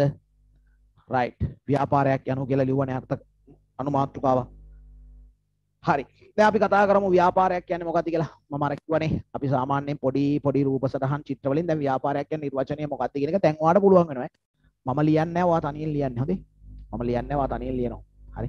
විශ්වාස ගන්න ඈ. විශ්වාස ගන්න. මම ලියන්නේ නැහැ ඔයා තනියෙන් ලියනවා. හරි? රයිට් හරි. ව්‍යාපාරයක් කියන්නේ මොකක්ද පුතේ දැන් ව්‍යාපාරයක් කියන එකේදී මම ඔයාලට කලින් කිව්වා ලාභ අරමුණු කරගෙන සහ ලාභ අරමුණු කරගන්න නැතුව කියන ආකාර දෙකටම ව්‍යාපාර ක්‍රියාත්මක වෙනවා කියලා. හරි. හැබැයි අපි ව්‍යාපාර අධ්‍යයනය කියන විෂයේදී අපි කරන්නේ ව්‍යාපාර අධ්‍යයනය කරන්නේ. ඒතර අධ්‍යයනය කරන්න නම් මේ ලාභ අරමුණු කර නොගත් කියන කෑල්ලත් එක්ක දිගින් දිගටම අපිට අධ්‍යයනය කරගන්න බෑ. මොකද සමහරක් ක්‍රියාකාරකම් තියෙනවා ඒ ක්‍රියාකාරකම් තියෙන්නේ ලාභ අරමුණු කරගත්ත ව්‍යාපාරවල විතරයි. ලාභ අරමුණු කරගත්තේ නැති ව්යාපාරවල ඒ ක්‍රියාකාරකම් නැහැ. නිසා ලාභ අරමුණු කරගත්ත ව්‍යාපාර ගැන තමයි අපිට දිගින් දිගටම කතා කරන්න වෙන්නේ. ඒ නිසා මං පොඩි නිර්වචනයක් ගන්නවා මෙන්න මෙහෙම. ව්‍යාපාරයක් ක්‍රියාත්මක වෙන්නේ ව්‍යාපාරයක් ක්‍රියාත්මක වෙන්නේ ලාභ අරමුණු කරගනිමින් කියලා මං කියනවා. ලාභ ලැබීම අරමුණු කර ගනිමින් අරමුණු කර ගනිමින් හරි. ලාභ ලැබීම අරමුණු කර ගනිමින් ලාභ ලැබීම තමයි ඒගොල්ලෝ අරමුණු කරගන්න නේ? මෙන්න මේ ලාභ ලැබීම අරමුණු කරගෙන මේගොල්ලෝ කරන්නේ මොකද්ද? මිනිස්සුන්ට තියෙන. මිනිස්සු ඉන්නවනේ. ඔන්න මිනිස්සුන්ට තියෙන. හරි. මිනිස්සුන්ට තියෙන. මොනවද මිනිස්සුන්ට තියෙනවා ළමයි අවශ්‍යතා කියලා જાතියක්. එහෙම මතක තියාගන්න. පස්සේ අපි කතා කරමු මේ අවශ්‍යතා කියන්නේ මොනවද? ඒ පස්සේ කතා කරමු. අවශ්‍යතා කියලා જાතියක්. මිනිස්සු මේ අවශ්‍යතා තෘප්තිමත් කරගන්නේ උවමනා පරිභෝජනය කළා. පරිභෝජනය කියන්නේ පාවිච්චි කළා. මිනිස්සුන්ගේ අවශ්‍යතා හා වුවමනා මිනිසුන්ගේ අවශ්‍යතා හා වුවමනා සපුරාලන මිනිසුන්ගේ අවශ්‍යතා හා වුවමනා සපුරාලන මිනිස්සු තමන්ගේ අවශ්‍යතා හා වුවමනා සපුරාගන්න පුතේ මිනිස්සු තමන්ගේ අවශ්‍යතා හා වුවමනා සපුරාගන්න මේ අවශ්‍යතා කියන්නේ මොකද්ද වුවමනා කියන්නේ මොකක්ද කියන එක ඔයාලට සමහර කාලවල තේරෙන්නේ නැති වෙන්න පුළුවන්. ඒක අපි ඒක ඒක ඒක සාකච්ඡා කරගමු ඉස්සරහට. ඒක අපි ඉස්සරහට සාකච්ඡා කරගමු. හරි. මිනිසුන්ගේ අවශ්‍යතා හා වුවමනා සපුරාලන මිනිසුන්ගේ අවශ්‍යතා හා වුවමනා සපුරා ගන්නේ මිනිස්සු එක්ක බාණ්ඩ එහෙම නැත්තම් සේවා පාවිච්චි කරලා. මිනිස්සු තමන්ගේ අවශ්‍යතා හා වුවමනා සපුරා ගන්නේ මොනවද? එක්ක බාණ්ඩ. එහෙම නැත්තම් සේවා පාවිච්චි කරලා මෙන්න මේ බාණ්ඩ හා සේවා මොනවා කරන එකද? එක්කො නිෂ්පාදනය කරන එක. එක්කො නිෂ්පාදනය කරන එක. එහෙමත් නැත්තම් එහෙමත් නැත්තම් බෙදා හැරීම. එහෙමත් නැත්තම් එහෙමත් නැත්තම් ළමයි මෙයා මොනවා කරන්න ඕනද? එහෙම නැත්තම් අලවිය. හරි අලවිය. එක්ක නිෂ්පාදනය නිෂ්පාදනය කියන්නේ හදනවා හදපු එක තියාගෙන ඉඳලා හරියන්නේ නැහැ. Maliban biscuit company Maliban biscuit හැදුවම ඒක ඒකේ තියාගෙන ඉඳලා හරියන්නේ නැහැ. ඒවා බෙදා හරින්න ඕන රට පුරා. බෙදා හැරීම සිදු කර ඊට පස්සේ ඒවා විකුණනවා අලවිය සිදු කරන්න ඕන මෙන්න මේ නිෂ්පාදනය බෙදා හැරීම අලවිය හා ඊට අනුබද්ධ අනුබද්ධ කටයුතු ඊට අනුබද්ධ කටයුතු දැන් ඔය තිබ්බම මොකක්ද කියලා මේක ඇතුලේ ව්‍යාපාරයක් පිළිබඳ නිර්වචනය තියෙනවා. ව්‍යාපාරයක් පිළිබඳ නිර්වචනය මේක ඇතුලේ තියෙනවා. කොහොමද මේක ඇතුලේ ව්‍යාපාර පිළිබඳ නිර්වචනයක් තියෙන්නේ? හ්ම් අපි බලමු නිර්වචනය. ව්‍යාපාරයක් අර්ථකථනය කරන්න පුළුවන් ආකාර කීපයක් තියෙනවා. ඒ ආකාර කීපෙන් එකක් තමයි මං ඔය දාගෙන තියෙන්නේ. හරි? ව්‍යාපාර අර්ථකථනය කරන්න පුළුවන් ආකාර කීපයක් තියෙනවා. ඒ ආකාර කීපෙන් එකක් තමයි මං ඔය දාගෙන තියෙන්නේ. මොකද හේතුව මුලින්ම අපි ලේසියකට යන්න ඕන. හරි? right. මම අර්ථකථනය චුට්ටක් කියවන්න මාත් එක්ක. මම ඉස්සර කියවන්නම් අහගෙන ඊට පස්සේ අපි එකට කියමු. ලාභ ලැබීම අරමුණු කරගනිමින් මිනිස් අවශ්‍යතා හා වුවමනා සපුරාලන භාණ්ඩ හා සේවා නිෂ්පාදනය බෙදා හැරීම අලවිය අනුබද්ධ කටයුතු ව්‍යාපාරයක් ලෙස හැඳින්වේ. ලාභ ලැබීම අරමුණු කරගනිමින් මිනිස් අවශ්‍යතා හා වුවමනා සපුරාලන භාණ්ඩ හා සේවා නිෂ්පාදනය බෙදාහැරීම අලවිය හා ඊට අනුබද්ධ කටයුතු ව්‍යාපාරයක් ලෙස හැඳින්වේ. මාත් එක කියන්න. මාත් එක කියන්න. ලාභ ලැබීම අරමුණු කරගනිමින් මිනිස් අවශ්‍යතා හා වුවමනා සපුරාලන පාණ්ඩ හා සේවා නිෂ්පාදනය බෙදාහැරීම අලවිය හා ඊට අනුබද්ධ කටයුතු ව්‍යාපාරයක් ලෙස හැඳින්වේ. ආය පාරක් කියන්න මාත් එක්ක ලාභ ලැබීම අරමුණු කරගනිමින් මිනිස් අවශ්‍යතා හා වුවමනා සපුරාලන පාණ්ඩ හා සේවා නිෂ්පාදනය බෙදාහැරීම අලවිය හා ඊට අනුබද්ධ කටයුතු ව්‍යාපාරයක් ලෙස හැඳින්වේ. ආය පරක් කියන්න මාත් එක්ක ලාභ ලැබීම අරමුණු කරගනිමින් මිනිස් අවශ්‍යතා හා වුවමනා සපුරාලන බාණ්ඩ හා සේවා නිෂ්පාදනය බෙදාහැරීම අලවිය හා ඊට අනුබද්ධ කටයුතු ව්‍යාපාරයක් ලෙස හැඳින්වේ. තව එක පාරක් කියමු. තව එක පාරක් ඔයාලට තනියෙන් ලියන්න පුළුවන් ඊට පස්සේ. තව එක පාරක් කියන්න කොහොමද? ලාභ ලැබීම අරමුණු කරගනිමින් මිනිස් අවශ්‍යතා හා වුවමනා සපුරාලන බාණ්ඩ හා සේවා නිෂ්පාදනය බෙදාහැරීම අලවිය හා ඊට අනුබද්ධ කටයුතු ව්‍යාපාරයක් ලෙස හැඳින්වේ. දැන් ඔයා කරන්න ඕන මෙහෙමයි. ව්‍යාපාරයක් යනු කියලා දැන් ලියලා තියෙනවානේ අනුමාත්‍රිකා. ඒකට යටින් මේ සටහන ඇඳ ගන්න ඕන. සටහන ඇඳගෙන තනියෙන් ලියන්න නිර්වචනය. ඔයාලට පුළුවන්. තනියෙන් ලියන්න නිර්වචනය. පුළුවන් පුළුවන් පුළුවන්. හරි? පුළුවන් තනියෙන් ලියන්න. තනියෙන් ලියන්න. හරියන්න හෝ වරදින්න තනියෙන් ලියන්නකෝ අපි පස්සේ අදාගමු. හරි? පස්සේ අද මම ඒකයි කිව්වේ අර සාමාන්‍ය පන්තියක නෝට් එක ගුරුවරයා කියනවා ළමයා ලියනවා. අපේ එහෙම නෙවෙයි. සර් එක කියලා ළමයා තනියෙන් ලියනවා. එතකොට තමයි ඉතින් පන්තිය ඇතුලේ එවලෙම පුළුවන්. ඕක තමයි පාඩම් කරවනවා කියලා කියන්නේ පන්තියක් ඇතුලේ.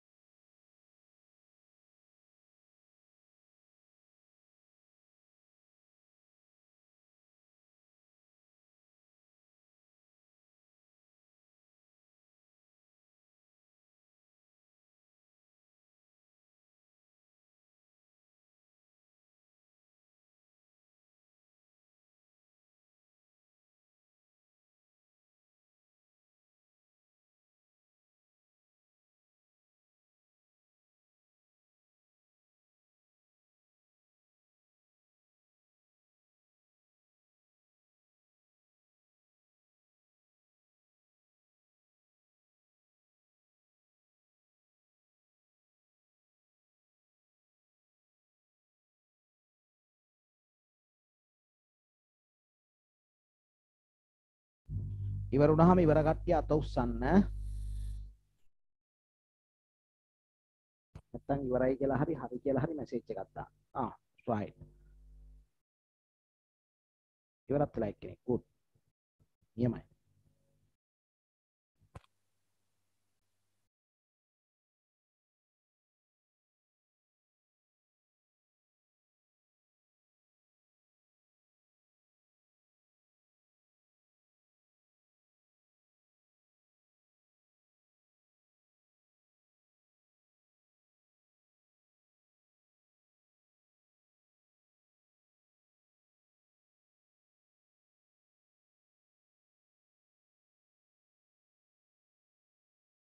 හොඳයිනේ ඉක්මනට අන්න එහෙමයි ළමයි. good නියමයි. මාර සතුටුයි ඇත්තටම. හරි. බොහොම සතුටුයි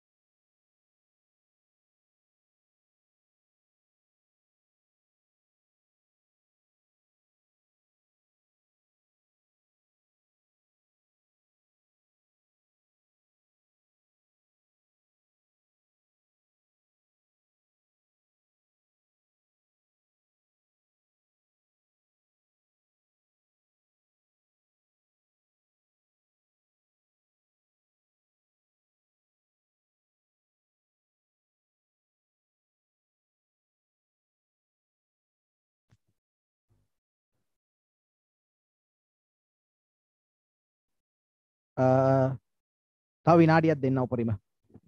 උපරිම තව විනාඩියක් දෙන්න.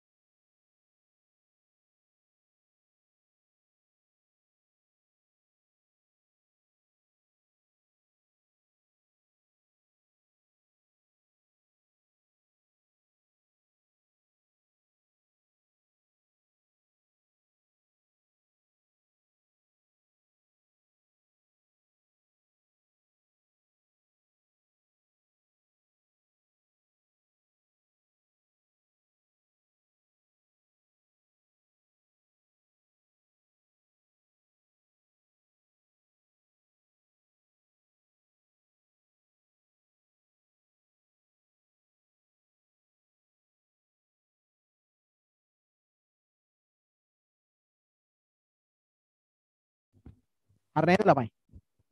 හරි. ලියපු එකේ පොඩ්ඩක් හරි මොනවා හරි අඩුපාඩු තියෙනවාද කියලා චුට්ටක් හදාගෙන යන්න ඉස්සරහට. හරි? ඉස්සරහට යන්න ඈ. මේක හදාගෙන චුට්ටක් හරි වැරදි මොනවා හරි අඩුපාඩු තියෙනවාද කියලා පොඩක් හදාගෙන ඉස්සරහට යන්න. පුතේ මේ පුළුවන්. තමන්ගෙම කියලා ව්‍යාපාරයක් ආරම්භ කරන්න පුළුවන්. මොකද මේකේ එක පාඩමක් තියෙනවා විවසායකත්වය කියලා. ඇත්තට මේ විවසායකත්වයේ පාඩමේ වාව පෙළඹවන්නේ ඕකට තමයි. හරි? හරි. මේ චුට්ටක් අපි ඉස්සරහට යන්න මේ බලන්න මේක හරිද කියලා බලන්න නිර්වචනේ ලාභ ලැබීම අරමුණු කර ගනිමින් ඔයා ලියපෙක බලන්න මන් දිහා බලාගෙන ඉන්න පාර ලියපෙක බලන්න මිනිස් අවශ්‍යතා හා උවමනා සපුරාලන භාණ්ඩ හා සේවා නිෂ්පාදනය බෙදා හැරීම අලවිය හා ඊට අනුබද්ධ කටයුතු ව්‍යාපාරයක් ලෙස හැඳින්වේ. එහෙම ලියලා තියෙනවද කියලා බලන්න. ලාභ ලැබීම අරමුණු කරගනිමින් මිනිස් අවශ්‍යතා හා උවමනා සපුරාලන භාණ්ඩ හා සේවා නිෂ්පාදනය බෙදා හැරීම අලවිය හා ඊට අනුබද්ධ කටයුතු ව්‍යාපාරයක් ලෙස හැඳින්වේ. හරි. අපි පුතේ දැන් පොඩ්ඩක් නෝට් එකක් ගහමුද? ඒ කියන්නේ ඔය ඔය කොටස මතක තියාගන්න ෂෝට් නෝට් එකක් ගහමුද? හ්ම්? රයිට්. ෂෝට් එකක් ගහමු ඔය කොටස මතක තියාගන්න. මට මේ මේ පන්තියට සම්බන්ධ වෙනකොට ඔය තනි CR කොළ, ඩබල් CR කොළ එහෙම අරගෙන එන්නේ හරි. මොකද දැන් මේ කොටසේ තියෙන අනික් කාරණා ගැන අපි ටිකින් ටිකට කතා කරමු. කතා කරනකොට මේ පාඩමේ දැන් ඉස්සරහට යන්නේ කොහොමද කියලා චුට්ටක් බලමු හොඳට අහගන්න. මේ පාඩමේ ඉස්සරහට යන්නේ කොහොමද කියලා පොඩ්ඩක් අහගන්න. මේ බලන්න. ඔයාට මේ පාඩමේ ඊළඟට කතා කරන්න ඕන අවශ්‍යතාවයක් කියන්නේ මොකක්ද කියලා. උවමනාවක් කියන්නේ මොකක්ද කියලා. හරිද?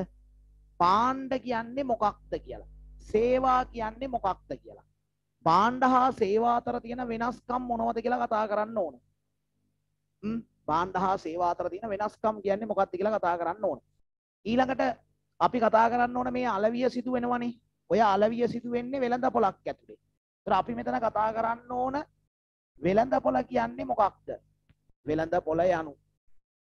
හරි. ඕක කතා කරන්න ඕන. හරිද? ඊළඟට නිෂ්පාදනය කියන්නේ මොකක්ද? ඒක ටිකක් එහාට ගියාම තියෙන. මෙන්න මේ ටික තමයි අපි ඊළඟට සාකච්ඡා කරගන්න ඕන. තේරුණාද? එතකොට ඔය ටික තමයි අපි මේ පාඩමේ ඊළඟ සාකච්ඡාව කියන්නේ මෙතන ඉඳන් ඉස්සරහට පාඩමේ සාකච්ඡාව තියෙන ඔය ටික. අන්න ඒක තමයි දැන් මේක ළමයි ඔයා නිර්මාණය ඔයා මෙහෙම රූප සරහනක් අඳින්න දන්නේ ඔයා මෙහෙම මේක ලියා ගන්නවා. හරි. ඡේදයක් වශයෙන් ලියා ගන්නවා. ඡේදයක් වශයෙන් ලියාගෙන පාඩම් කරොත් මොකද වෙන්නේ? ඔයාට මේක පාඩම් කරගන්න වෙන්නේ කියවලමනේ. හැබැයි මේ මම කියන ක්‍රමවේදෙට ගියොත් ඔයාට කියවන්න නැතුව නිකන් කොලයක් අරගෙන කොලයක මේක එක දිගට ඇඳගෙන ඇඳගෙන ඇඳගෙන ගිහින් ලියාගෙන පාඩම් මතක තියාගන්න පුළුවන්. මේක තමයි රයිටින් BS කියන එක වෙනුවට ඩ්‍රොයින් BS කියලා අපි පන්තිය නම් කරලා තියෙන්නේ. ලියන BS වෙනුවට අඳින BS. රූප සටහන් වලින් මතක තියාගන්න BS. හරි. රයිට්. දැන් ටක් ගාලා ඔතන නෝට් එක සම්පූර්ණ කරගමු. කොලයක් පැත්තකින් තියාගන්න. කොලේ අපි අන්තිමට වැඩේ කරමු. ඒ කියන්නේ තනි CR කොලයක් ඇති. පොතේම කොලයක් පාවිච්චි කරත් කමක් නැහැ. හැබැයි මම අර කියන්නේ දැන් ඔය පොත දිගින් දිගටම ටියුට් එක හම්බුණත් ඔය පොත පාවිච්චි කරගෙන යන්න වෙනවා ඈ. මොකද ෂෝට් නෝට් ටික හදාගන්න වෙන්නේ ඔය පොතේ. හරි? ෂෝට් නෝට් ටික හදාගන්න වෙන්නේ ඔය පොතේ. හරි. රයිට්. ඔය නිර්වචනයට යටින් මාතෘකාවක් ලියන්න අවශ්‍යතාවයක් යනු කියලා. අවශ්‍යතාවයක් යනු. අවශ්‍යතාවයක් යනු. අවශ්‍යතාවයක් යනු. හරි. ආගන්න අවශ්‍යතාවයක් කියන්නේ මොකක්ද කියලා. ඕලෙල් වලත් මේවා ඉගෙනගෙන තියෙනවා. ඕලෙල් කොමර්ස් වලත්. හැබැයි සමහරක් වෙලාවට නිර්වචන ටිකක් ඕලෙල් වල ඉගෙන ගත්ත නිර්වචන සහ මේ නිර්වචන ටිකක් වෙනස් වෙන්න පුළුවන් ඈ. හරි. ඒ ලෙවල් වලනේ ටිකක් නිර්වචන ස්ටෑන්ඩඩ් වෙනවා. ටිකක් ඉස්සරහට යනවා නිර්වචන ඈ. හරි. අවශ්‍යතාවයක් කියන්නේ මොකක්ද? පුතේ මිනිස්සෙක් ගත්තම මෙන්න මේ මිනිස්සයා මනුස්සයෙක් ගත්තම් මෙන්න මේ මනුස්සයා. මේ මනුස්සයා අනිවාර්යෙන්ම සපුරා ගන්න ඕන. අනිවාර්යෙන්ම අනිවාර්යෙන්ම සපුරාගත යුතු. අනිවාර්යෙන්ම සපුරාගත යුතු. මොනවද? අනිවාර්යෙන්ම සපුරා ගන්න ඕන දෙකක් තියෙනවා. එකක් තමයි කායික. කායික. අනිත් එක තමයි මානසික. හරි? එකක් කායික අනිත් එක තමයි මානසික. ඔන්න ඔය කායික හා මානසික තත්ත්වයන් අපි හඳුන්වනවා අවශ්‍යතා කියලා. හරිද? මිනිසා විසින් අනිවාර්යෙන් සපුරා ගත යුතු කායික හා මානසික තත්ත්වයන්. අපි චුට්ටක් නිකන් බලමු මොකක්ද කියලා මේ. අනිවාර්යෙන් සපුරා ගත යුතු කායික හා මානසික තත්ත්වයන්. දැන් පුතේ ඔයාට බඩගිනි. ඕක මොකක්ද? ඕක කායික තත්ත්වයක්. ඔයා ඇඳුම් අඳිනවා. ඇඳුම් අඳින්නේ මොකටද? කායික ආරක්ෂාවට. ඔයා අවුව යනකොට කුඩයක් අරන් යනවා. වැස්ස යනකොට කුඩයක් අරන් යනවා. මොකටද අරන් යන්නේ? කායික ආරක්ෂාවට. කායික ආරක්ෂාවටනේ. නේ? මොලේ තෙවෙනවටද? නෑ. මොලේට අවුව වැටලා මොලේ රත් වෙනවා. ඒ නිසාද? නෑ. කායික ආරක්ෂාවට. හැබැයි දැන් ඔය ඔයා ඔයා හිතමු මෙහෙම ඔයා අධ්‍යාපනය ලබ අධ්‍යාපනය ලබන්නේ කායික අවශ්‍යතාවයකටද නෑ අධ්‍යාපනය ලබන්නේ මානසික අවශ්‍යතාවයකට නේ දැන් ගෙදර ඉස්කෝලේ ගිහිල්ලා මහන්සි වෙලා පාඩම් ඉස්කෝ වැඩ කරලා වැඩ කරලා වැඩ කරලා වැඩ කරලා පන්තිලා මහන්සිලා වැඩ කරලා වැඩ කරලා ගෙදර ඇවිල්ලා කියනවාද? අම්මේ අද නම් ඉගෙන ගත්ත ඇඟට හරි අමාරුයි වෙනිවැල් ගැට එකක්වත් බොන්න ඕනේ. එහෙම කියනවාද? ඇඟේ අමාරුවට වෙනිවැල් ගැට මොනවද? ඉගෙනගෙන ඇවිල්ලා. නෑ.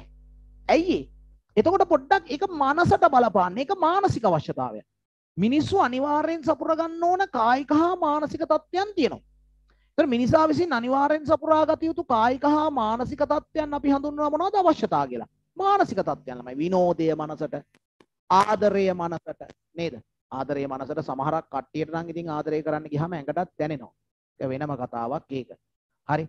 එතකොට අධ්‍යාපනය මනසට ආදරය මනසට ආරක්ෂාව ආරක්ෂාව පැතිකට දෙකක් තියෙනවා. එකක් මනසට දැනනවා අනිත් එක කායිකව දැනනවා. දැන් අපි ඇඳුම් අඳින්නේ කායික ආරක්ෂාවට.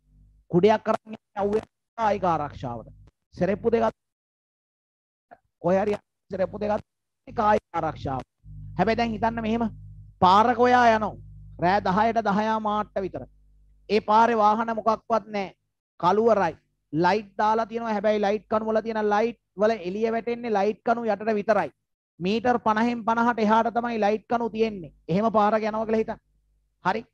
එහෙම පාරක යනකොට ඔයාට මතක් වෙනවා මේ පාරේ එක එක්කෙනා කියලා තියෙන දේවල්. අර හන්දියේ කෙනෙක් මරලා තියෙනවා. එයා දැන් ඒ හන්දියේ හොල්මන් කරනවා. අර හන්දියේ ලොකු ගහක් තියෙනවා. ඒ ගහේ එක්කෙනෙක් බෙල්ල වෙලා දාගෙන මැරලා තියෙනවා. නේ? දැන් ඔයා පාරේ යනකොට යන්නේ හරි බයෙන්. ඔයාට ආරක්ෂාවක් නැහැ කියලා හැඟෙනවා. දැනෙනවා හිතට. හැබැයි ඒ ආරක්ෂාව කායික ආරක්ෂාව නෙමෙයි වාට නැත්තේ මානසික ආරක්ෂාවක්. එයි. ඒ පාරෙම ඔයා යනවා තව යාළුවෝ තුන් හතර දෙනෙක් එක්ක. එදාට ඔයාට ඔය බය දැනෙන්නේ නෑ. ඇයි ඒ? ඔයාට ආරක්ෂාවක් තියෙනවා. ඒ ආරක්ෂාව මොන ආරක්ෂාවක්ද? ඒක කායික ආරක්ෂාවක් මානසික ආරක්ෂාවක් නෙවෙයි. කායික ආරක්ෂාවක් නෙවෙයි මානසික ආරක්ෂාවක්. එසා ආරක්ෂාව කියන එක සමහරක් වෙලාවට මනසට දැනනවා සමහරක් වෙලාවට කයට දැනනවා. කෙසේ වෙතත් අවශ්‍යතාවයක් කියන්නේ මොකද්ද? අර්ථකථනය කරොත් මිනිසා විසින් අනිවාර්යෙන්ම සපුරා ගත යුතු කායික හා මානසික තත්ත්වයන් මිනිසා විසින් අනිවාර්යෙන්ම සපුරා ගත යුතු කායික හා මානසික තත්ත්වයන් අපි හඳුන්වනවා මොකක් කියලාද? අවශ්‍ය. මිනිසා විසින් අනිවාර්යෙන්ම සපුරා ගත යුතු කායික හා මානසික තත්ත්වයන් අපි හඳුන්වනවා. අවශ්‍යතා කියලා. හරි. රයිට් එන අවශ්‍යතා යටතේ නෝට් එක දාගමු. ටක් ගාලා මේ සටහනක් ගහගන්න. ටක් ගාලා සටහනක් ගහගන්න. ටක් ගාලා සටහනක් ගහගන්න. ටක් ගාලා රූප සටහන ගහගෙන යටින් ලියමු. තනියෙන් ලියන්න පුළුවන් ඔයාට. මට විශ්වාසයි ඔයාට තනියෙන් ලියන්න පුළුවන් කියලා. මිනිසා විසින් අනිවාර්යෙන් සපුරා ගත යුතු කායික හා මානසික තත්ත්වයන්.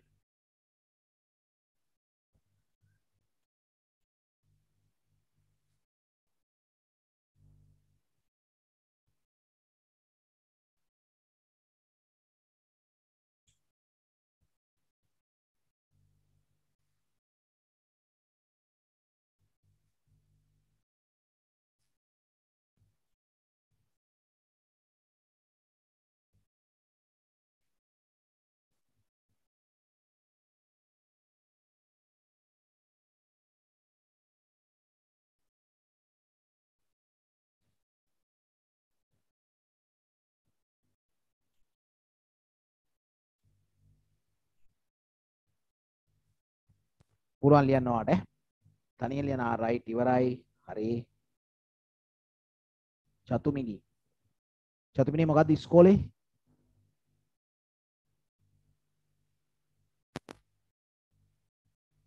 කාව්‍යත් ඉවරයි.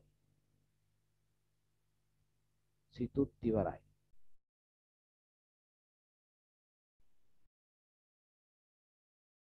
තව කට්ටිය ඉවරයි නේ.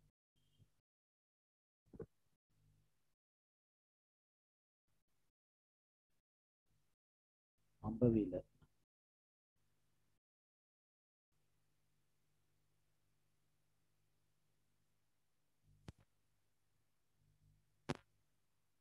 right good පූජත් ඉවරයි. හරි. ගොඩක් කට්ටිය ඉවරයි නේ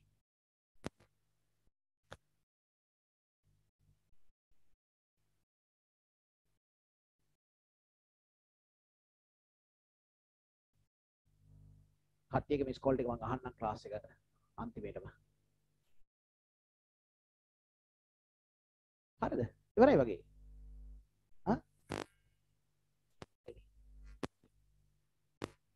රයිට් හරි මිනිසා විසින් අනිවාර්යෙන්ම සපුරා ගත යුතු කායික හා මානසික තත් YouTube එකේ කට්ටියක් දාන්න මම බලාගෙන ඉන්නේ ඔයගොල්ලෝ දිහත් ඈ. ඔයගොල්ලෝ දිහත් බලාගෙන ඉන්නේ YouTube එකේ ඉන්න කට්ටියත්. හරි? YouTube එකේ ඉන්න කට්ටිය දිහත් බලාගෙන ඉන්නේ ඒගොල්ලෝ දාන්න. ඉවර නම් ඉවරයි. විස්තර දාන්න ඒවා. හරි. එතකොට මිනිසා විසින් අනිවාර්යයෙන්ම සපුරා ගත යුතු කායික හා මානසික තත්ත්වයන්. පුතේ ඕක ඔයා ලිව්වනේ යටින් දාන උදාහරණ කියලා. උදාහරණ. ආහාර. ආහාර.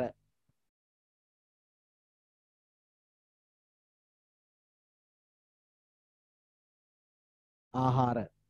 කම අධ්‍යාපනය. අධ්‍යාපනය. කම සෞඛ්‍ය. සෞඛ්‍ය.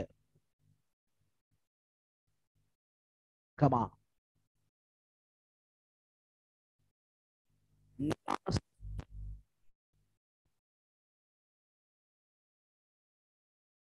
නිවාස.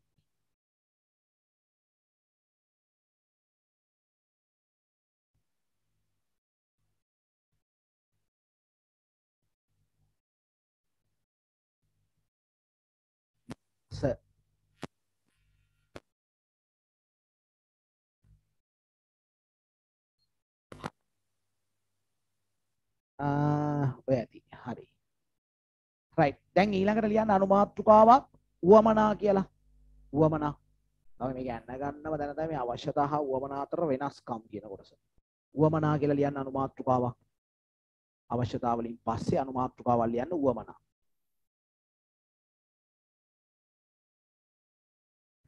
රයිට් පුතේ. මොකද්ද උවමනාවක් කියලා කියන්නේ? දැන් මිනිසුන්ට අවශ්‍යතාවයක් ඇති වෙනවනේ. නේ? මිනිස්සුන්ට අවශ්‍යතා ඇති වෙනවා. හරි. එතකොට මිනිස්සු ඔන්න ඔය අවශ්‍යතා ඇති වුනහම මම උදාහරණයකට ගන්නම් මේ බලන්න.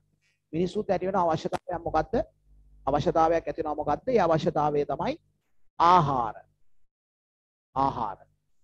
ආහාර කියන අවශ්‍යතාවය ඇති වෙනවා.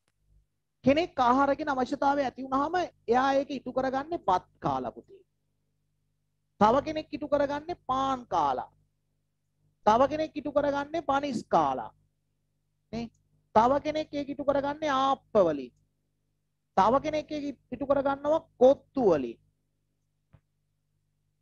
තව කෙනෙක් ඒක ඉටු කරගන්නවා බර්ගර් වලින් හරි බර්ගර් වලින් ආ ඒ ඉටු කරගන්නවනේ මිනිස්සු. හරි.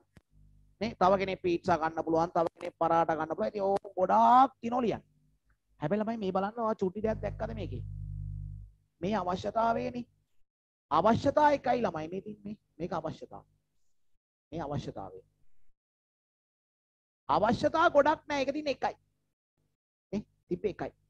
හැබැයි මේ අවශ්‍යතාවය ඉටු කරගන්න උවමනා ගොඩාක් තියෙනවා. උවමනා ගොඩාක් තියෙනවා. මේ මොනවා කෑවත් බඩ පිරෙනවා හරිද? මේ මොනවා කෑවත් බඩ පිරෙනවා හරි. ඒ නිසා අපි කියනවා මිනිස්සු අවශ්‍යතාවය සපුරා ගන්නා තාක් තියෙන නිසා මේ ටික ඔක්කොටම නමක් කියනවා විවිධ ආකාරයන් කියලා නමක් කියනවා. විවිධාකාරයන් කියලා නමක් කියනවා. එහෙනම් මිනිස් අවශ්‍යතා ඉටු කරගනු ලබන විවිධ ආකාරයන් අපි හඳුන්වනවා මොකක් කියලාද? උවමනා කියලා. මිනිස් අවශ්‍යතා ඉටු කරන්න විවිධ ආකාරයන් අපි කියනවා. මොකක් කියලාද? උවමනා කියලා අපි හඳුන්වනවා. මම මේකෙන් පස්සේ චූටි වැඩක් දෙනවා. ඒ වැඩේ කරන්න ඕනේ ඊට පස්සේ. හොඳේ? මිනිසුන්ගේ අවශ්‍යතාවයන් ඉටු කරගන්න විවිධ ආකාරයන් හඳුන්වනවා. මොකක් කියලාද? උවමනා කියලා. හරි. එහෙනම් උවමනා කියලා ලියමු. උවමනා කියලා ලියමු.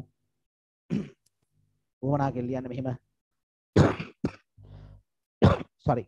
මිනිස් අවශ්‍යතා ඉටු කරගනු ලබන මිනිස් අවශ්‍යතා ඉටු කරගනු ලබන මිනිස් අවශ්‍යතා ඉටු කරගනු ලබන විවිධ විවිධ ආකාරයන් මිනිස් අවශ්‍යතා ඉටු කරගනු ලබන විවිධ ආකාරයන් මිනිස් අවශ්‍යතා ඉටු කරගනු ලබන විවිධ ආකාරයන් මිනිස්සු තමන්ගේ අවශ්‍යතා ඉටු කරගන්න ලබන විවිධ ආකාරයන්. මිනිස් අවශ්‍යතා ඉටු කරගනු ලබන විවිධ ආකාරයන්.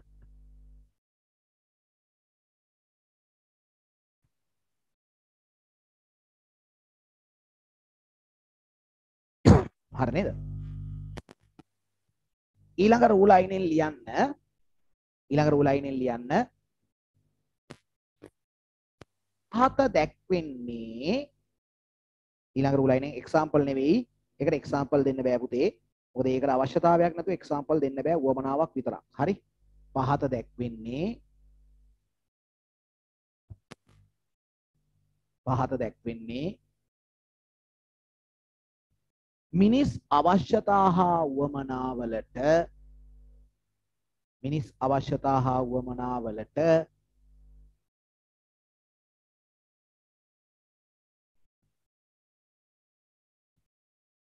උදාහරණ වේ පහත දැක්වෙන්නේ මිනිස් අවශ්‍යතා හා වුවමනාවලට උදාහරණ වේ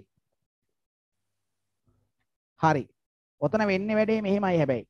මම අවශ්‍යතා ටික දෙනවා. හරි? මම අවශ්‍යතා ටික දෙනවා. හැබැයි මං උවමනා ටික දෙන්නේ උවමනා ටික මොකද්ද කරන්න ඕන? උවමනා ටික ඔයා ලියන්න ඕන. හරි? මං අවශ්‍යතා ටික දෙනවා. උවමනා ටික ඔයා ලියන්න ඕන. මු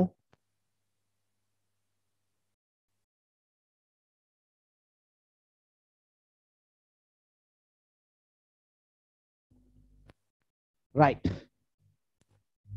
දැන් මෙහෙම කරගන්න. චූටි වගුවක් වගේ ගහගමු. පොඩි වගුවක් වගේ ගහගමු. හරිද? ඒ වගුවේ අර මෙහෙම දෙපැත්තෙන් ඉරි ගහන්න ඕනේ නැහැ. ගහන්න ලස්සට මේ අවශ්‍යතාව වලට ලොකු ඉඩක් ඕනේ නැහැ. ඒකට පොඩි ඉඩක් ඕන. අවශ්‍යතා කියලා මේ පැත්තෙන් ලියන්න. මේ පැත්තෙන් ලියන්න උවමනා. හරි. අඩුම තරම එකකට තුනක්වත් ලියන්න ඕනේ. එකකට තුනක්වත් ලියන්න. හරි. අවශ්‍යතා වුවමනා කියලා මේ වගේ දාගන්න වගුවක්?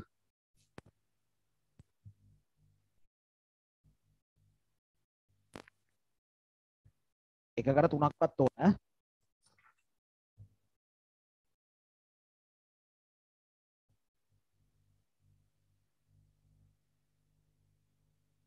අවශ්‍යතාවල පළවෙනි එක. අවශ්‍යතාවල පළවෙනි එක. ආහාර. ආහාර.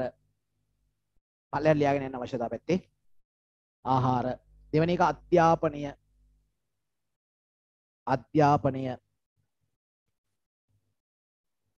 තුන සෞඛ්‍ය.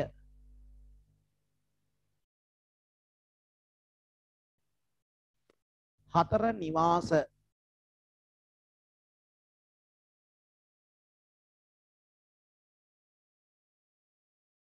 හතර නිවාස.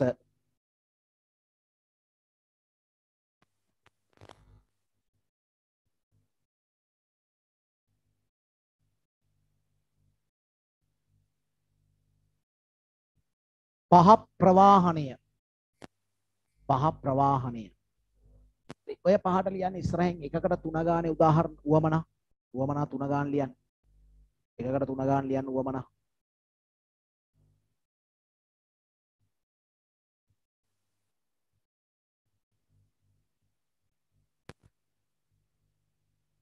එකකට තුන ගානේ.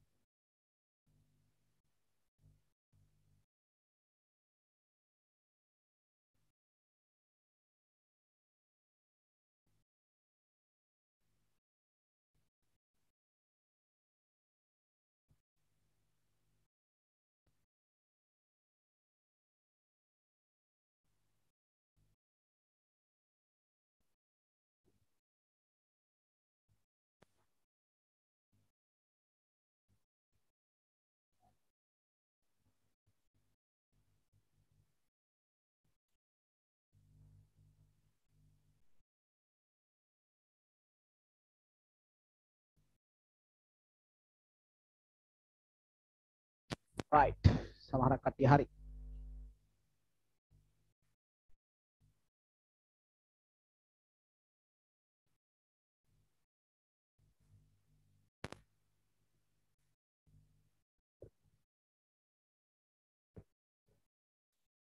ඉවරයි හොඳයිනේ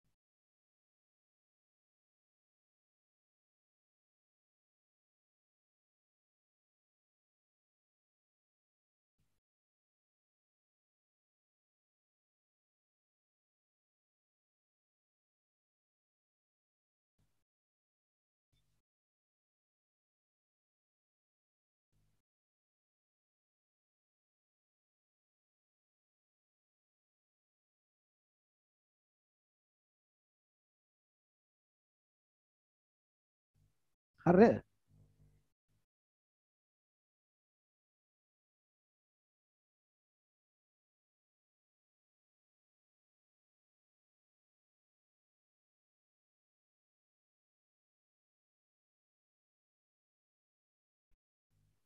හොඳයි. ඔයාලා ඉක්මනට වැඩ කරනවා පුතේ බොහොම හොඳයි ඒක. ඒක ගොඩක් හොඳයි මේ ඉක්මනට වැඩ කරන එක. වේගය හරි වැදගත්. උසස් පෙළ විභාගෙදී මොකද හේතුව අපිට පේපර්ස් වලට හම්බෙන දැන් උදාහරණයකට BS පේපර් එකේ අපි ප්‍රශ්න පහක් කරන්න ඕනේ පුතේ. අපිට ඔය ප්‍රශ්න පහ කරන්න වැය කරන්න වෙන්නේ එක ප්‍රශ්නයකට විනාඩි 36යි හරි? එතකොට මේ විනාඩි 36කින් ප්‍රශ්නයක් ඉවර කරන්නේ කොහොමද? ඉවර කරන්න නම් අනිවාර්යයෙන් ස්පීඩ් එක හරිම වැදගත්. නමුත් දැන් ඔයා ඔය ස්පීඩ් එකෙන් වැඩ කරනවා. ඒක හොඳයි. දැන් ඇත්තටම ළමයි ඔයාලා දැන් A level වලට දැන් දැන් ගොඩක් ළමයි O level කරානේ. හැබැයි A level කරපු ගොඩක් ළමයිගෙන් ඔය O level කරපු ඔක්කොම ළමයි මේ වෙනකොට A level වලට ක්ලාස් යන්නේ නැහැනේ සීමිත ප්‍රමාණයක් යන්නේ. accounts econ පන්ති යනවද පුතේ ඔයගොල්ලෝ? accounts econ වලට ක්ලාස් යනවද? econ ක්ලාස් කාගේද යන්නේ? දාමු බලන්න chat එකට.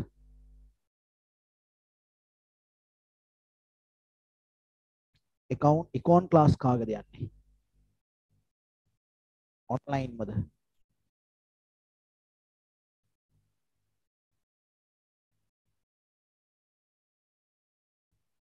online මද යන්නේ? දැන් ඔයාලා බලාපොරොත්තු වෙන්නේ දිගටම ඔන්ලයින් ක්ලාස් මම විභාගය වෙනකම් කරනවා. හොඳේ ඔන්ලයින් ඒ කියන්නේ දිගටම මම ඔන්ලයින් ක්ලාස් කරගෙන යනවා. දැන් මේ අතර ඒ කියන්නේ දැන් ඔයාලා ඔයාට දැන් ෆිසිකල් ක්ලාස් එකට එන්න ඕන නම් මම නුවරයි කුරුණෑගල අනුරාධපුරයි විතරයි ෆිසිකල් ක්ලාස් කරන්නේ. ඒක ඔයාගේ කැමැත්තක්. ඔයාට ෆිසිකල් ක්ලාස් එකට එන්න පුළුවන්. හරිද? ඔන්ලයින් එකෙන් අයින් වෙලා ඔයාට ෆිසිකල් එකට එන්න පුළුවන්. ඔයාට හිතෙනවා නම් එහෙම. නමුත් මම දිගටම ඔන්ලයින් ක්ලාස් එක කරගෙන යනවා. විභාග වෙනකන් දැන් 23 ළමයින්ටත් අපි පටන් ගත්ත ඔන්ලයින් ක්ලාස්. එහෙම දිගටම ඔන්ලයින් ක්ලාස් එක යනවා. දැන් සමහරක් වෙලාවට සමහරක් වෙලාවට ඔන්ලයින් ක්ලාස් කියනවා ෆිසිකල් ක්ලාස් පටන් ගත්තම ඔන්ලයින් ක්ලාස් කියනවා නතර වෙනවා. ඇතැම් කට්ටිය ගුරුවරුන්ගේ හරි. මම නම් එහෙම නතර කරන්නේ නැහැ. මම දිගටම කරගෙන යනවා. දැන් ඔයාලට ඇත්තටම ඔයාලට තිබ්බනේ ප්‍රතිඵල අවශ්‍ය පන්තියන්. නමුත් පුතේ දැන් අපි මේ ඉන්න මාසේ මොකද්ද? මේ ඉන්නේ ජූනි මාසේ. හරි. ජූනි නෙවෙයි සෝරි ජූනි ඉවරයි දැන් මේ ජූලි මාසෙ ඉන්නේ. අපි ඉන්නේ දැන් ජූලි මාසේ. නේ? අපි ඉන්නේ ජූලි මාසේ. හරිද? ඒතර මේ මොන අවුරුද්දේ ජූලිද? මේ 2022 ජූලි. දැන් ඔයාලගේ ඔය O level විභාගේ දැන් දැන් ඔයාලා දන්නවනේ A level අයියලා අක්කලාගේ 22 A level ලියන අයියලා අක්කලාගේ විභාගේ පහවෙනි මාසේ පවත්වන්න යනවා. ඇයි ඒ පවත්වන්න යන්න හේතුව? හේතුව තමයි විභාග කල් දාන්න බෑ මොකද මේ විභාග සෑහෙන කල් වැඩිච්ච නිසා තවදුරටත් කල් දාන්න බෑ කියලා තමයි විභාගේ පවත්වන්න යන්නේ. ඒක හරි. ඒතර විභාග කල් දාන්න බෑ එහෙම. දැන් ඒතකොට ඒ විදියට බැලුවම 2023 ලියන ලක්කලගේ විභාගේ අනිවාර්යයෙන්ම 2023 අගෝස්තු මාසේ තියෙනවා. ඒතර ඕගොල්ලන්ගේ විභාගේ 2024 අවුරුද්දේ 2024 අගෝස්තු මාසේ ඕගොල්ලන්ගේ විභාගේ තියෙනවා. කල්යන්නේ නැහැ ඒක 2024 අගෝස්තු මාසේ ඕගොල්ලන්ගේ විභාගේ තියෙනවා. දැන් මේ අපි ඉන්නේ 2022 ජූලි මාසේ. හරි. තව මාසෙකින් ඊළඟ මාසේ ගත්තම 2022 අගෝස්තු මාසේ. එතකොට මේ බාන 2022 අගෝස්තු මාසේ. 20යි 22 හරි. එතකොට ඔයාලගේ විභාගෙ තියෙන්න බලන්න. පොඩි ටයිම්ලයින් එකක් වගේ මම අඳින්නම්. ඔයාලගේ විභාගෙ තියෙන්නේ 2024 දැන් 20යි 24 වෙනකොට පුතේ මේ ප්‍රශ්න ඉවරයිනේ? අගෝස්තු. දැන් ওই විභාග කල් ගියේ කොරෝනා නිසානේ. තෙල් නැති නිසා නෙවෙයිනේ. ඔයාලගේ ඕලෙවල් කල් ගියෙත් කොවිඩ් නිසා. තෙල් නැති නිසා නෙමෙයි. හරි. අගෝස්තු මාසේ 2024 අගෝස්තු මාසේ තමයි ඔයාලගේ විභාගෙ තියෙන්නේ එතකොට 22 අගෝස්තු වල ඉඳන් 24 අගෝස්තු වෙනකන් තියෙන කාලය අවුරුදු දෙකයි. පැහැදිලි? අවුරුදු දෙකයි.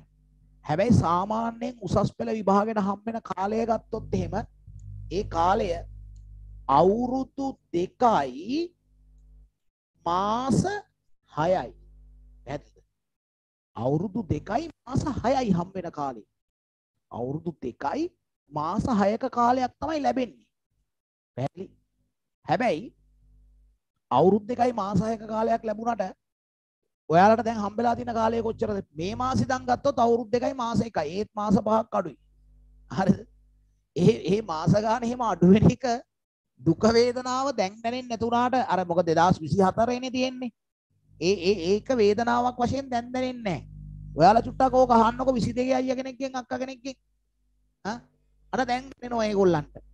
ආ? 20 තුනේ අයියා කෙනෙක්ගෙන් අක්කා කෙනෙක්ගෙන් අහන්න. මොකද ඒගොල්ලන් ලබන මාසෙන් පස්සේ ඒගොල්ලන්ටත් තියෙන්නේ අවුරුද්දයි. හරිද? 23 අයියලා කළා ලබන මාසෙන් පස්සේ තියෙන්නේ අවුරුද්දයි. ඒතර ඒගොල්ලන්ටත් ඒ දුක වේදනාව දැන් දැනෙනවා. ඒගොල්ලන්ටත් ඒ දුක වේදනාව දැන් දැනෙනවා. පැහැදිලිද? එසා ඔන්න ඕක තමයි ප්‍රශ්නේ. ඔක තේරුම් ගන්න ඕන. ඔක තේරුම් ගන්න වැඩ කරේ නැත්තම් පුතේ ඉවරයි. කෙලින්ම ආයේ මුල ඉඳන් සැලසුම් සකස් කරගෙන යන්න ඕන හරියට වැට්ටික් කරගෙන. හරි කල්තියා පටන් අරන් මුල ඉඳන් සැලසුම් සකස් කරගෙන යන්න ඕන. හරි. අපි බලමු එහෙනම් පොඩ්ඩක් දැන් ආහාර වලට ඔයාලට ලියන්න පුළුවන් නේ පාන්, ඉන්දියාප්ප, ආප්ප, තේ නේද? ඈ ඊළඟට කොත්තු, රයිස් ඔය ඕන එකක් ලියන්න පුළුවන්. නිවාස නිවාසද මං ඊළඟට කිව්ව අධ්‍යාපනය නේ. අධ්‍යාපන ලියන්න පුළුවන් පාසල් අධ්‍යාපනය, පිරිවෙන් අධ්‍යාපනය, පෞද්ගලික පාසල්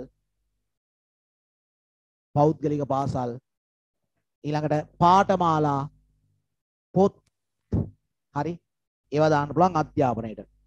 සෞඛ්‍ය රෝහල් ලියන්න පුළුවන් රජයේ රෝහල් පෞද්ගලික රෝහල් බෙහෙත් වෛද්‍ය පරීක්ෂණ ඒවා ලියන්න පුළුවන් එතනට. හරි. ඊට පස්සේ නිවාස වලට ඔයාලට ලියන්න පුළුවන් තට්ටු නිවාස යුගල නිවාස තට්ටු නිවාස කියලා කියන්නේ ෆ්ලැට්ස් කියලා අපි කියන්නේ. අපාර්ට්මන්ට් ඒවා යුගල නිවාස නිල නිවාස නේවාසිකාගාර පැල්පත් ඔය ආදී දේවල්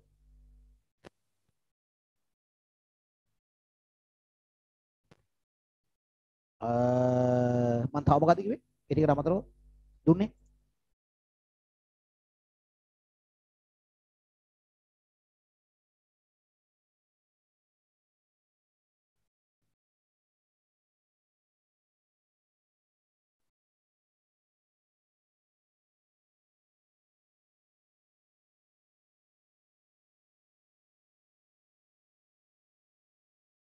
ප්‍රවාහනයනේ හරි. ප්‍රවාහනයට ලියන්න පුළුවන් ඔයාට ප්‍රවාහනයට ඔයාලට ලියන්න පුළුවන් බස් රථ ලෝරි රථ මෝටර රථ පාපැදි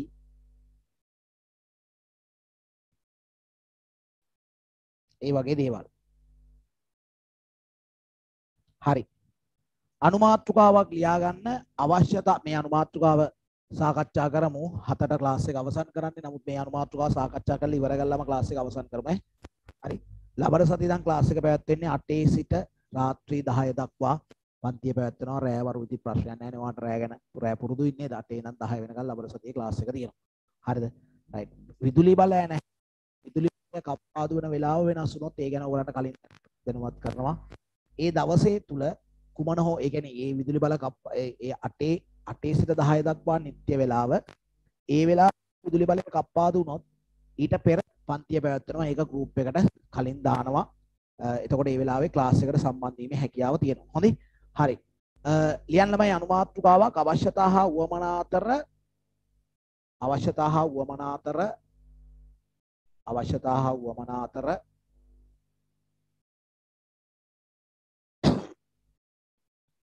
අවශ්‍යතා හා උවමනා අතර වෙනස්කම් වෙනස්කම්. අවශ්‍යතා හා උවමනා අතර වෙනස්කම්. දෙකට බෙදා ගන්න පුතේ. එක පැත්තක් දාගන්න අවශ්‍යතා කියලා. අනිත් පැත්ත දාගන්න උවමනා කියලා. එක පැත්තක් අවශ්‍යතා අනිත් පැත්ත උවමනා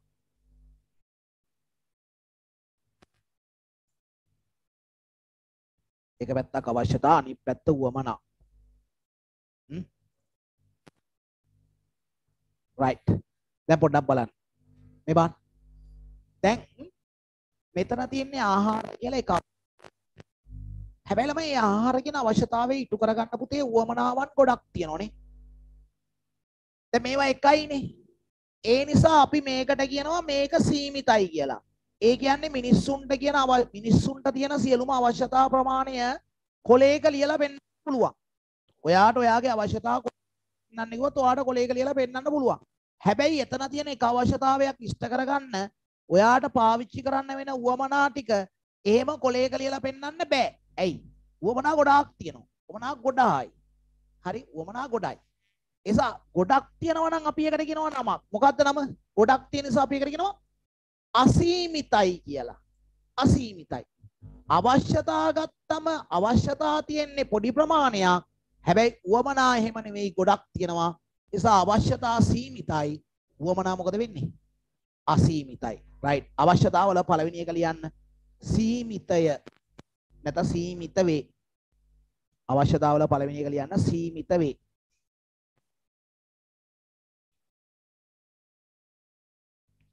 සීමිත වේ. උවමනාවල ලියන්න අසීමිත වේ. අසීමිත වේ. අවශ්‍යතාවල ලියන්න සීමිත වේ. උවමනාවල ලියන්න අසීමිත වේ.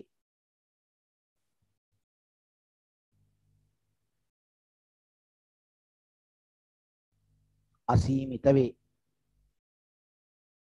පුතේ මේ බලන්න. දැන් මේ ආහාර කියන අවශ්‍යතාවය මටත් තියෙනවා. ඔයාටත් තියෙනවා. ඇමරිකාවේ මිනිසෙක් ගත්තම එයාටත් තියෙනවා. ඉතියෝපියාවේ මිනිසෙක් ගත්තම එයාටත් තියෙනවා. නේ? හැම කෙනෙක්ටම තියෙනවා මොකද්ද? ආහාර කියන අවශ්‍යතාවය. හැබැයි ඔයා ආහාර කියන අවශ්‍යතාවයට අද රැයට ගන්නේ සමහරක් වෙලාවට කොත්තු වෙන්න පුළුවන්. මම ගන්නේ බත් වෙන්න පුළුවන්. තව කෙනෙක් කන්නේ පාන් වෙන්න පුළුවන්. තව කෙනෙක් කන්නේ පිට්ටු වෙන්න පුළුවන්. තව කෙනෙක් කන්නේ ඉන්දියාප්ප වෙන්න පුළුවන්. එක එක්කෙනා මේ අවශ්‍යතාවය ඉටු කරගන්න උවමනාව වෙනස්. ළමයි අපි හැමෝටම එක වගේ නම් අපි ඒකට කියන නම තමයි පොදු කියන එක. පොදුයි. අපි හැමෝටම එක වගේ නම් පොදුයි. නේ? එතකොට අපි හැමෝටම එක වගේ නැත්තම් අපි ඒකට කියන නම තමයි විවිධයි කියන එක. විවිධයි. අපි හැමෝටම එක වගේ නම් අපි ඒකට කියන්නේ මොකක් කියලාද? පොදු කියලා. අපි හැමෝටම එක වගේ නෙවෙයි එක එක්කෙනාට වෙනස් නම් අපි ඒකට කියන්නේ මොකක් කියලාද? විවිධයි කියලා. එහෙනම් සෑම පුද්ගලයාටම පොදුයි අවශ්‍යතාවය හැබැයි වමනාව පුද්ගලයාගෙන් පුද්ගලයාට විවිධයි. රයිට්. අවශ්‍යතාව පැත්තේ ලියන්න සෑම පුද්ගලයෙක්ටම පොදුය. සෑම පුද්ගලයාටම පොදුය. සෑම පුද්ගලයාටම පොදුය. සෑම පුද්ගලයාට වුවමනා පැත්ත ලියන්න. පුද්ගලයාගෙන් පුද්ගලයාට ලිව නේද? වේගය වැඩිද? අවශ්‍යතාව පැත්ත ලියන්න සෑම පුද්ගලයාටම පොදුය. වුවමනා පැත්ත ලියන්න පුද්ගලයාගෙන් පුද්ගලයාට පුද්ගලයාගෙන් පුද්ගලයාට විවිධ වේ. විවිධ වේ.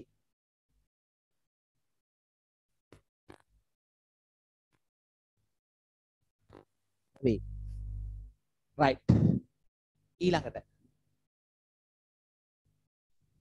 හරිනේ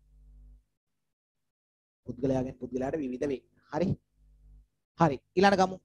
දැන් අවශ්‍යතාව ගත්තයින් පස්සේ. අවශ්‍යතාව ගත්තයින් පස්සේ දැන් අපිට ජීවත් වෙන්න නම් කෑම කන්න ආහාර අවශ්‍යමනේ ළමයි.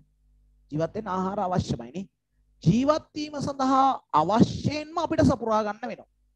ඒක නැතුව ජීවත් වෙන්න බෑ. ජීවත් වීම සඳහා සපුරා ගැනීම අනිවාර්ය වෙනවා. අනිවාර්යයි සපුරා ගන්න එක. හැබැයි ළමයි ජීවත් වෙන්න බත්ම කන්න ඕනද? බත් නොකර මිනිස්සු ජීවත් වෙන්නේ නැද්ද? ජීවත් වෙනවා. බත් කන්න මේ මේ ජීවත් වෙන පාන් කන්න ඕනද? පාන් කන්න නැති මිනිස්සු ජීවත් වෙන්නේ නැද්ද? ජීවත් වෙනවා. නේ? බත් ජීවත් වෙන්න කොත්තු කන්න ඕනද? ඈ? නෑ. කොත්තු කන්න නැති මිනිස්සු ජීවත් වෙන්නේ නැද්ද? ජීවත් වෙනවා. එහෙනම් මේක අනිවාර්යයි. මේක අනිවාර්ය අනිවාර්ය නොවේ. මේක අනිවාර්ය වෙන්නේ නේ. එන අවශ්‍යතාව පැත්තට ලියන්න අවශ්‍යතාව පැත්තට ලියන්න. ජීවත් වීම සඳහා ජීවත් වීම සඳහා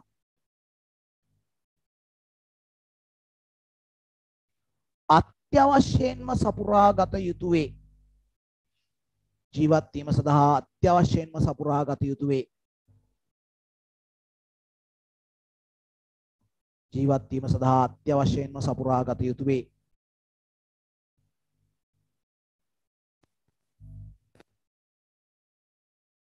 අනිත් පැත්තේ වනා පැත්තේ ජීවත් වීම සඳහා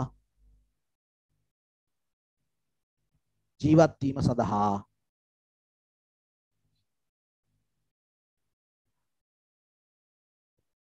අත්‍යවශ්‍යයෙන්ම සපුරාගත යුතු නොවේ. ජීවත් වීම සඳහා අත්‍යවශ්‍යයෙන්ම සපුරාගත යුතු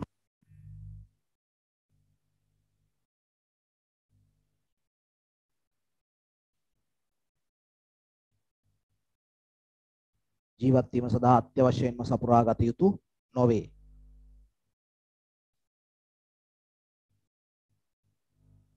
හරි. පුතේ.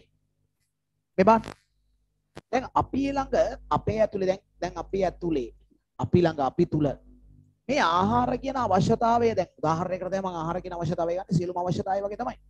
නේ? අපි ඇතුලේ මේකට හොඳම උදාහරණය තමයි අධ්‍යාපනය. හොඳ උදාහරණය ආහාර වලට වඩා අධ්‍යාපනය. හරි? දැන් අපි ළමයි ගත්තම ව්‍යාපාරනේ දැන් මොනවා කිව්වත් අපි අපි එක පැත්තේ අපේ අපේ ව්‍යාපාරය සාමාන්‍ය අනිත් ව්‍යාපාර වලට මානුෂිකයි. අපි කරන්නේ ටියුෂන් නේ. අපි කරන්නේ උපකාරක පන්තිනේ. ඒතකොට උපකාර පන්ති ගත්තම අපේ පන්ති ව්‍යාපාරයක් මේක උපකාරක පන්ති ව්‍යාපාරයක්. හරි. එතකොට අපි ඕගලන්ට අධ්‍යාපනය කියන එක සත්තා අධ්‍යාපනය කියන අවශ්‍යතාවය වෙනුවෙන් උපකාරක පන්ති කියන උවමනාව අපි නිර්මාණය කරලා තියෙනවා. කවුද? ගුරුවරු එවන්න නැත්නම් අපි ව්‍යාපාරිකයෝ කියලා හිතන්නකෝ. අපි අධ්‍යාපනය කියන උවමනාව නිර්මාණය කරලා තියෙනවා. හරි. දැන් ඔයා ළඟ අපි අධ්‍යාපනය කියන උවමනාව කොච්චර නිර්මාණය කරත් වැඩක් නැහෙනේ. ඇයි? ඔයාලගේ අධ්‍යාපනය ලබන්න අවශ්‍යතාවයක් නැත්තම් නේ? අවශ්‍යතාවයක් නැත්තම් එහෙනම් ළමයි අවශ්‍යතාව කියන එක ව්‍යාපාර වලට නිර්මාණය කරන්න බෑ. හැබැයි උවමනා කියන එක ව්‍යාපාර වලට නිර්මාණය කරන්න පුළුවන්. අවශ්‍යතාව කියන එක ව්‍යාපාර වල නිර්මාණය කරන්න බෑ. උවමනා කියන එක ව්‍යාපාරවල නිර්මාණය කරන්න පුළුවන්. ඉතින් අවශ්‍යතා පැත්තේ ව්‍යාපාරිකයන් නිර්මාණය කළ නොහැක ව්‍යාපාරිකයන් නිර්මාණය කළ නොහැකිය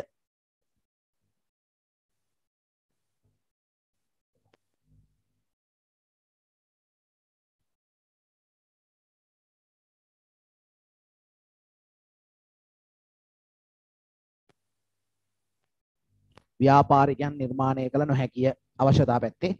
උවමනා පැත්තේ ලියන්න ව්‍යාපාරිකයන්ට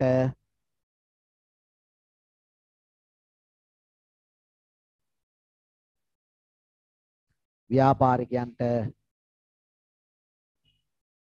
නිර්මාණය කළ හැක. ව්‍යාපාරිකයන්ට නිර්මාණය කළ හැක.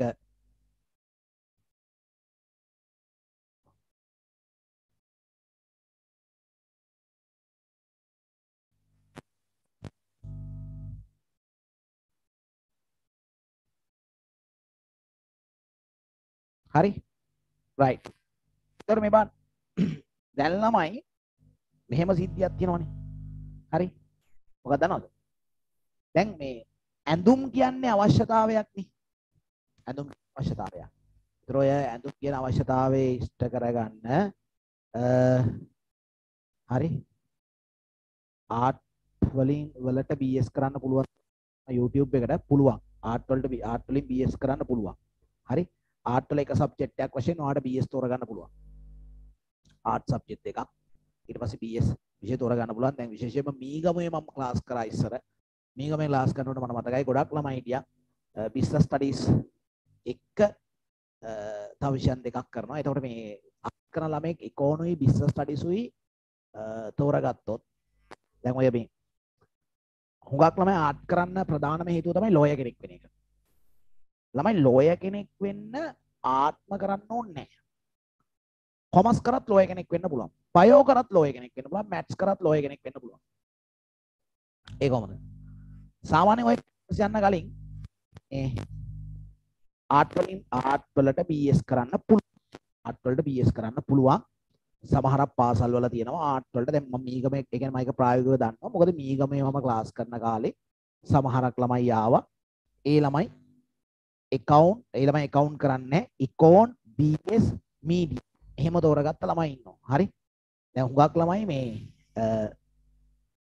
ගත්තම ඒ ළමයි මේ මේ මේ මේ ඒ කියන්නේ ලෝ කර ආට් කරන්න ප්‍රධානම හේතුව තමයි ලෝය කෙනෙක් ලෝ එන්ට්‍රස් යන එක ලෝ එක්සෑම් කරලා ලෝ එන්ට්‍රස් යන එක.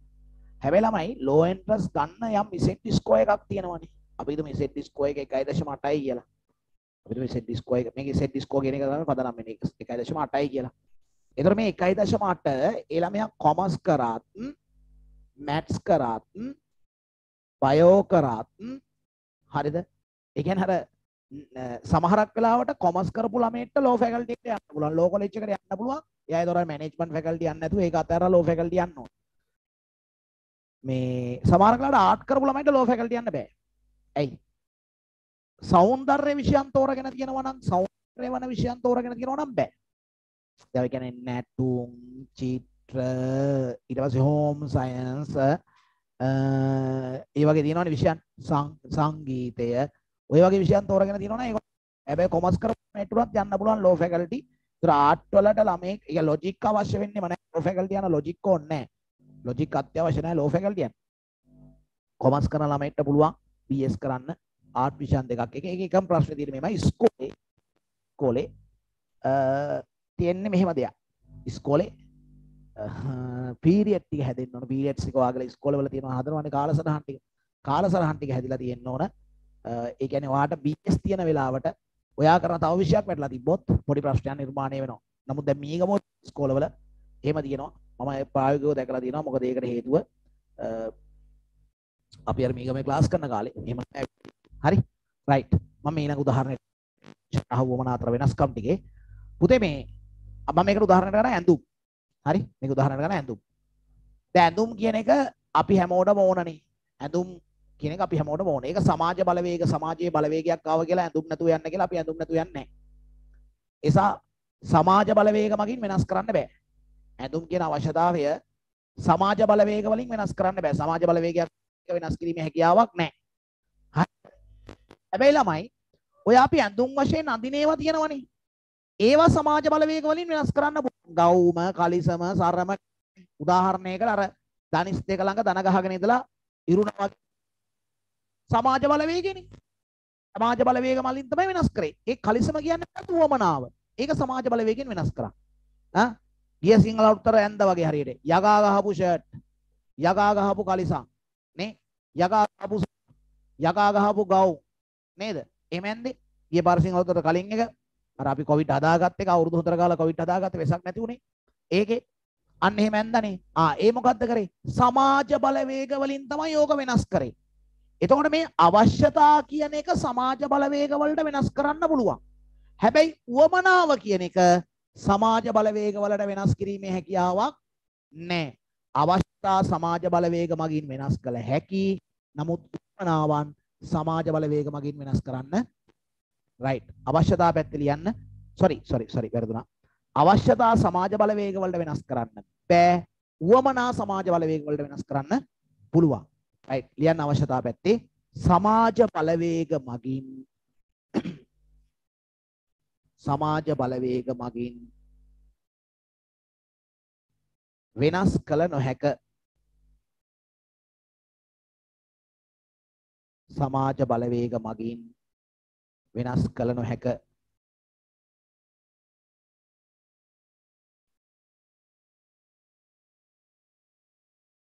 සමාජ බලවේග මගින් වෙනස් කළ නොහැක. උවමනා පැත්තේ ලියන්න. උවමනා පැත්තේ ලියන්න. සමාජ බලවේග මගින් සමාජ බලවේග මගින්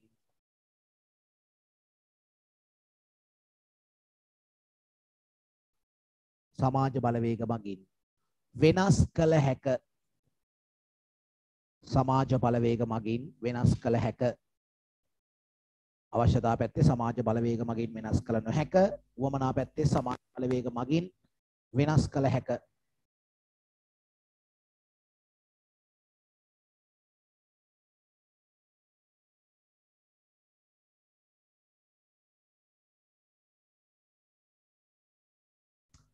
හරිද පුතේ එහෙනම් right එහෙනම් ප්‍රථම දිනයට අදාළ දේශනය අපි මෙතනින් අවසන් කරමු ලබන සතියේ සෙනසුරාදා රාත්‍රී 8 සිට 10 දක්වා YouTube live ඔස්සේ සහ Zoom live කවුරු හරි දරුවෙක් 2024 පන්තියට සම්බන්ධ වෙන්න බලාපොරොත්තුවක් තියෙනවා නම් උසස් පෙළ ව්‍යාපාරات තියෙන නිසකේ නිසකේ සාමාර්ථයක් අරගෙන කැම්පස් යන්න. විෂය හොඳට පුළුවන් වෙලා යන්න. ඔයා 0.7යි 1යි 40යි 10යි 667 නම්බරයකට 20යි 24 A level කියලා WhatsApp message එකක් දාන්න. එතකොට ඔයාව අපේ WhatsApp group එකට add කරයි. හරි. අඳුරන යාළුවෝ ඉන්නවා නම් ඒගොල්ලන්වත් දැනුවත් කරන්න. ජාතික මට්ටමේ ප්‍රතිඵලයකට දැම්ම ලෑස්ති වෙන්න, දැම්ම වැඩ කරන්න, හොඳ රිසල්ට් එකක් දාලා කැම්පස් යන්. අංක එකේ හීනේ බවට පත් කරගන්න කැම්පස් යන එක 2024 මම කොහොමද තුනක් දාලා සබ්ජෙක්ට් තුනටම කැම්පස් කියන එක බලාපොරොත්තුව කරගන්න. බලාපොරොත්තුව කරගෙන වැඩ ටික කරගෙන යන්න. හරි. එහෙනම් ආයිබෝවන් උත්සරණයි පරිස්සමෙන් ඉන්න සුබ රාත්‍රියක් good night අපි ඊළඟ දවසේ ක්ලාස් එකේදී හම්බෙමු. ඕගොල්ලන් යාළු මිත්‍රයන්වත් ක්ලාස් එක පිළිබඳව දැනුවත් කරා. හරි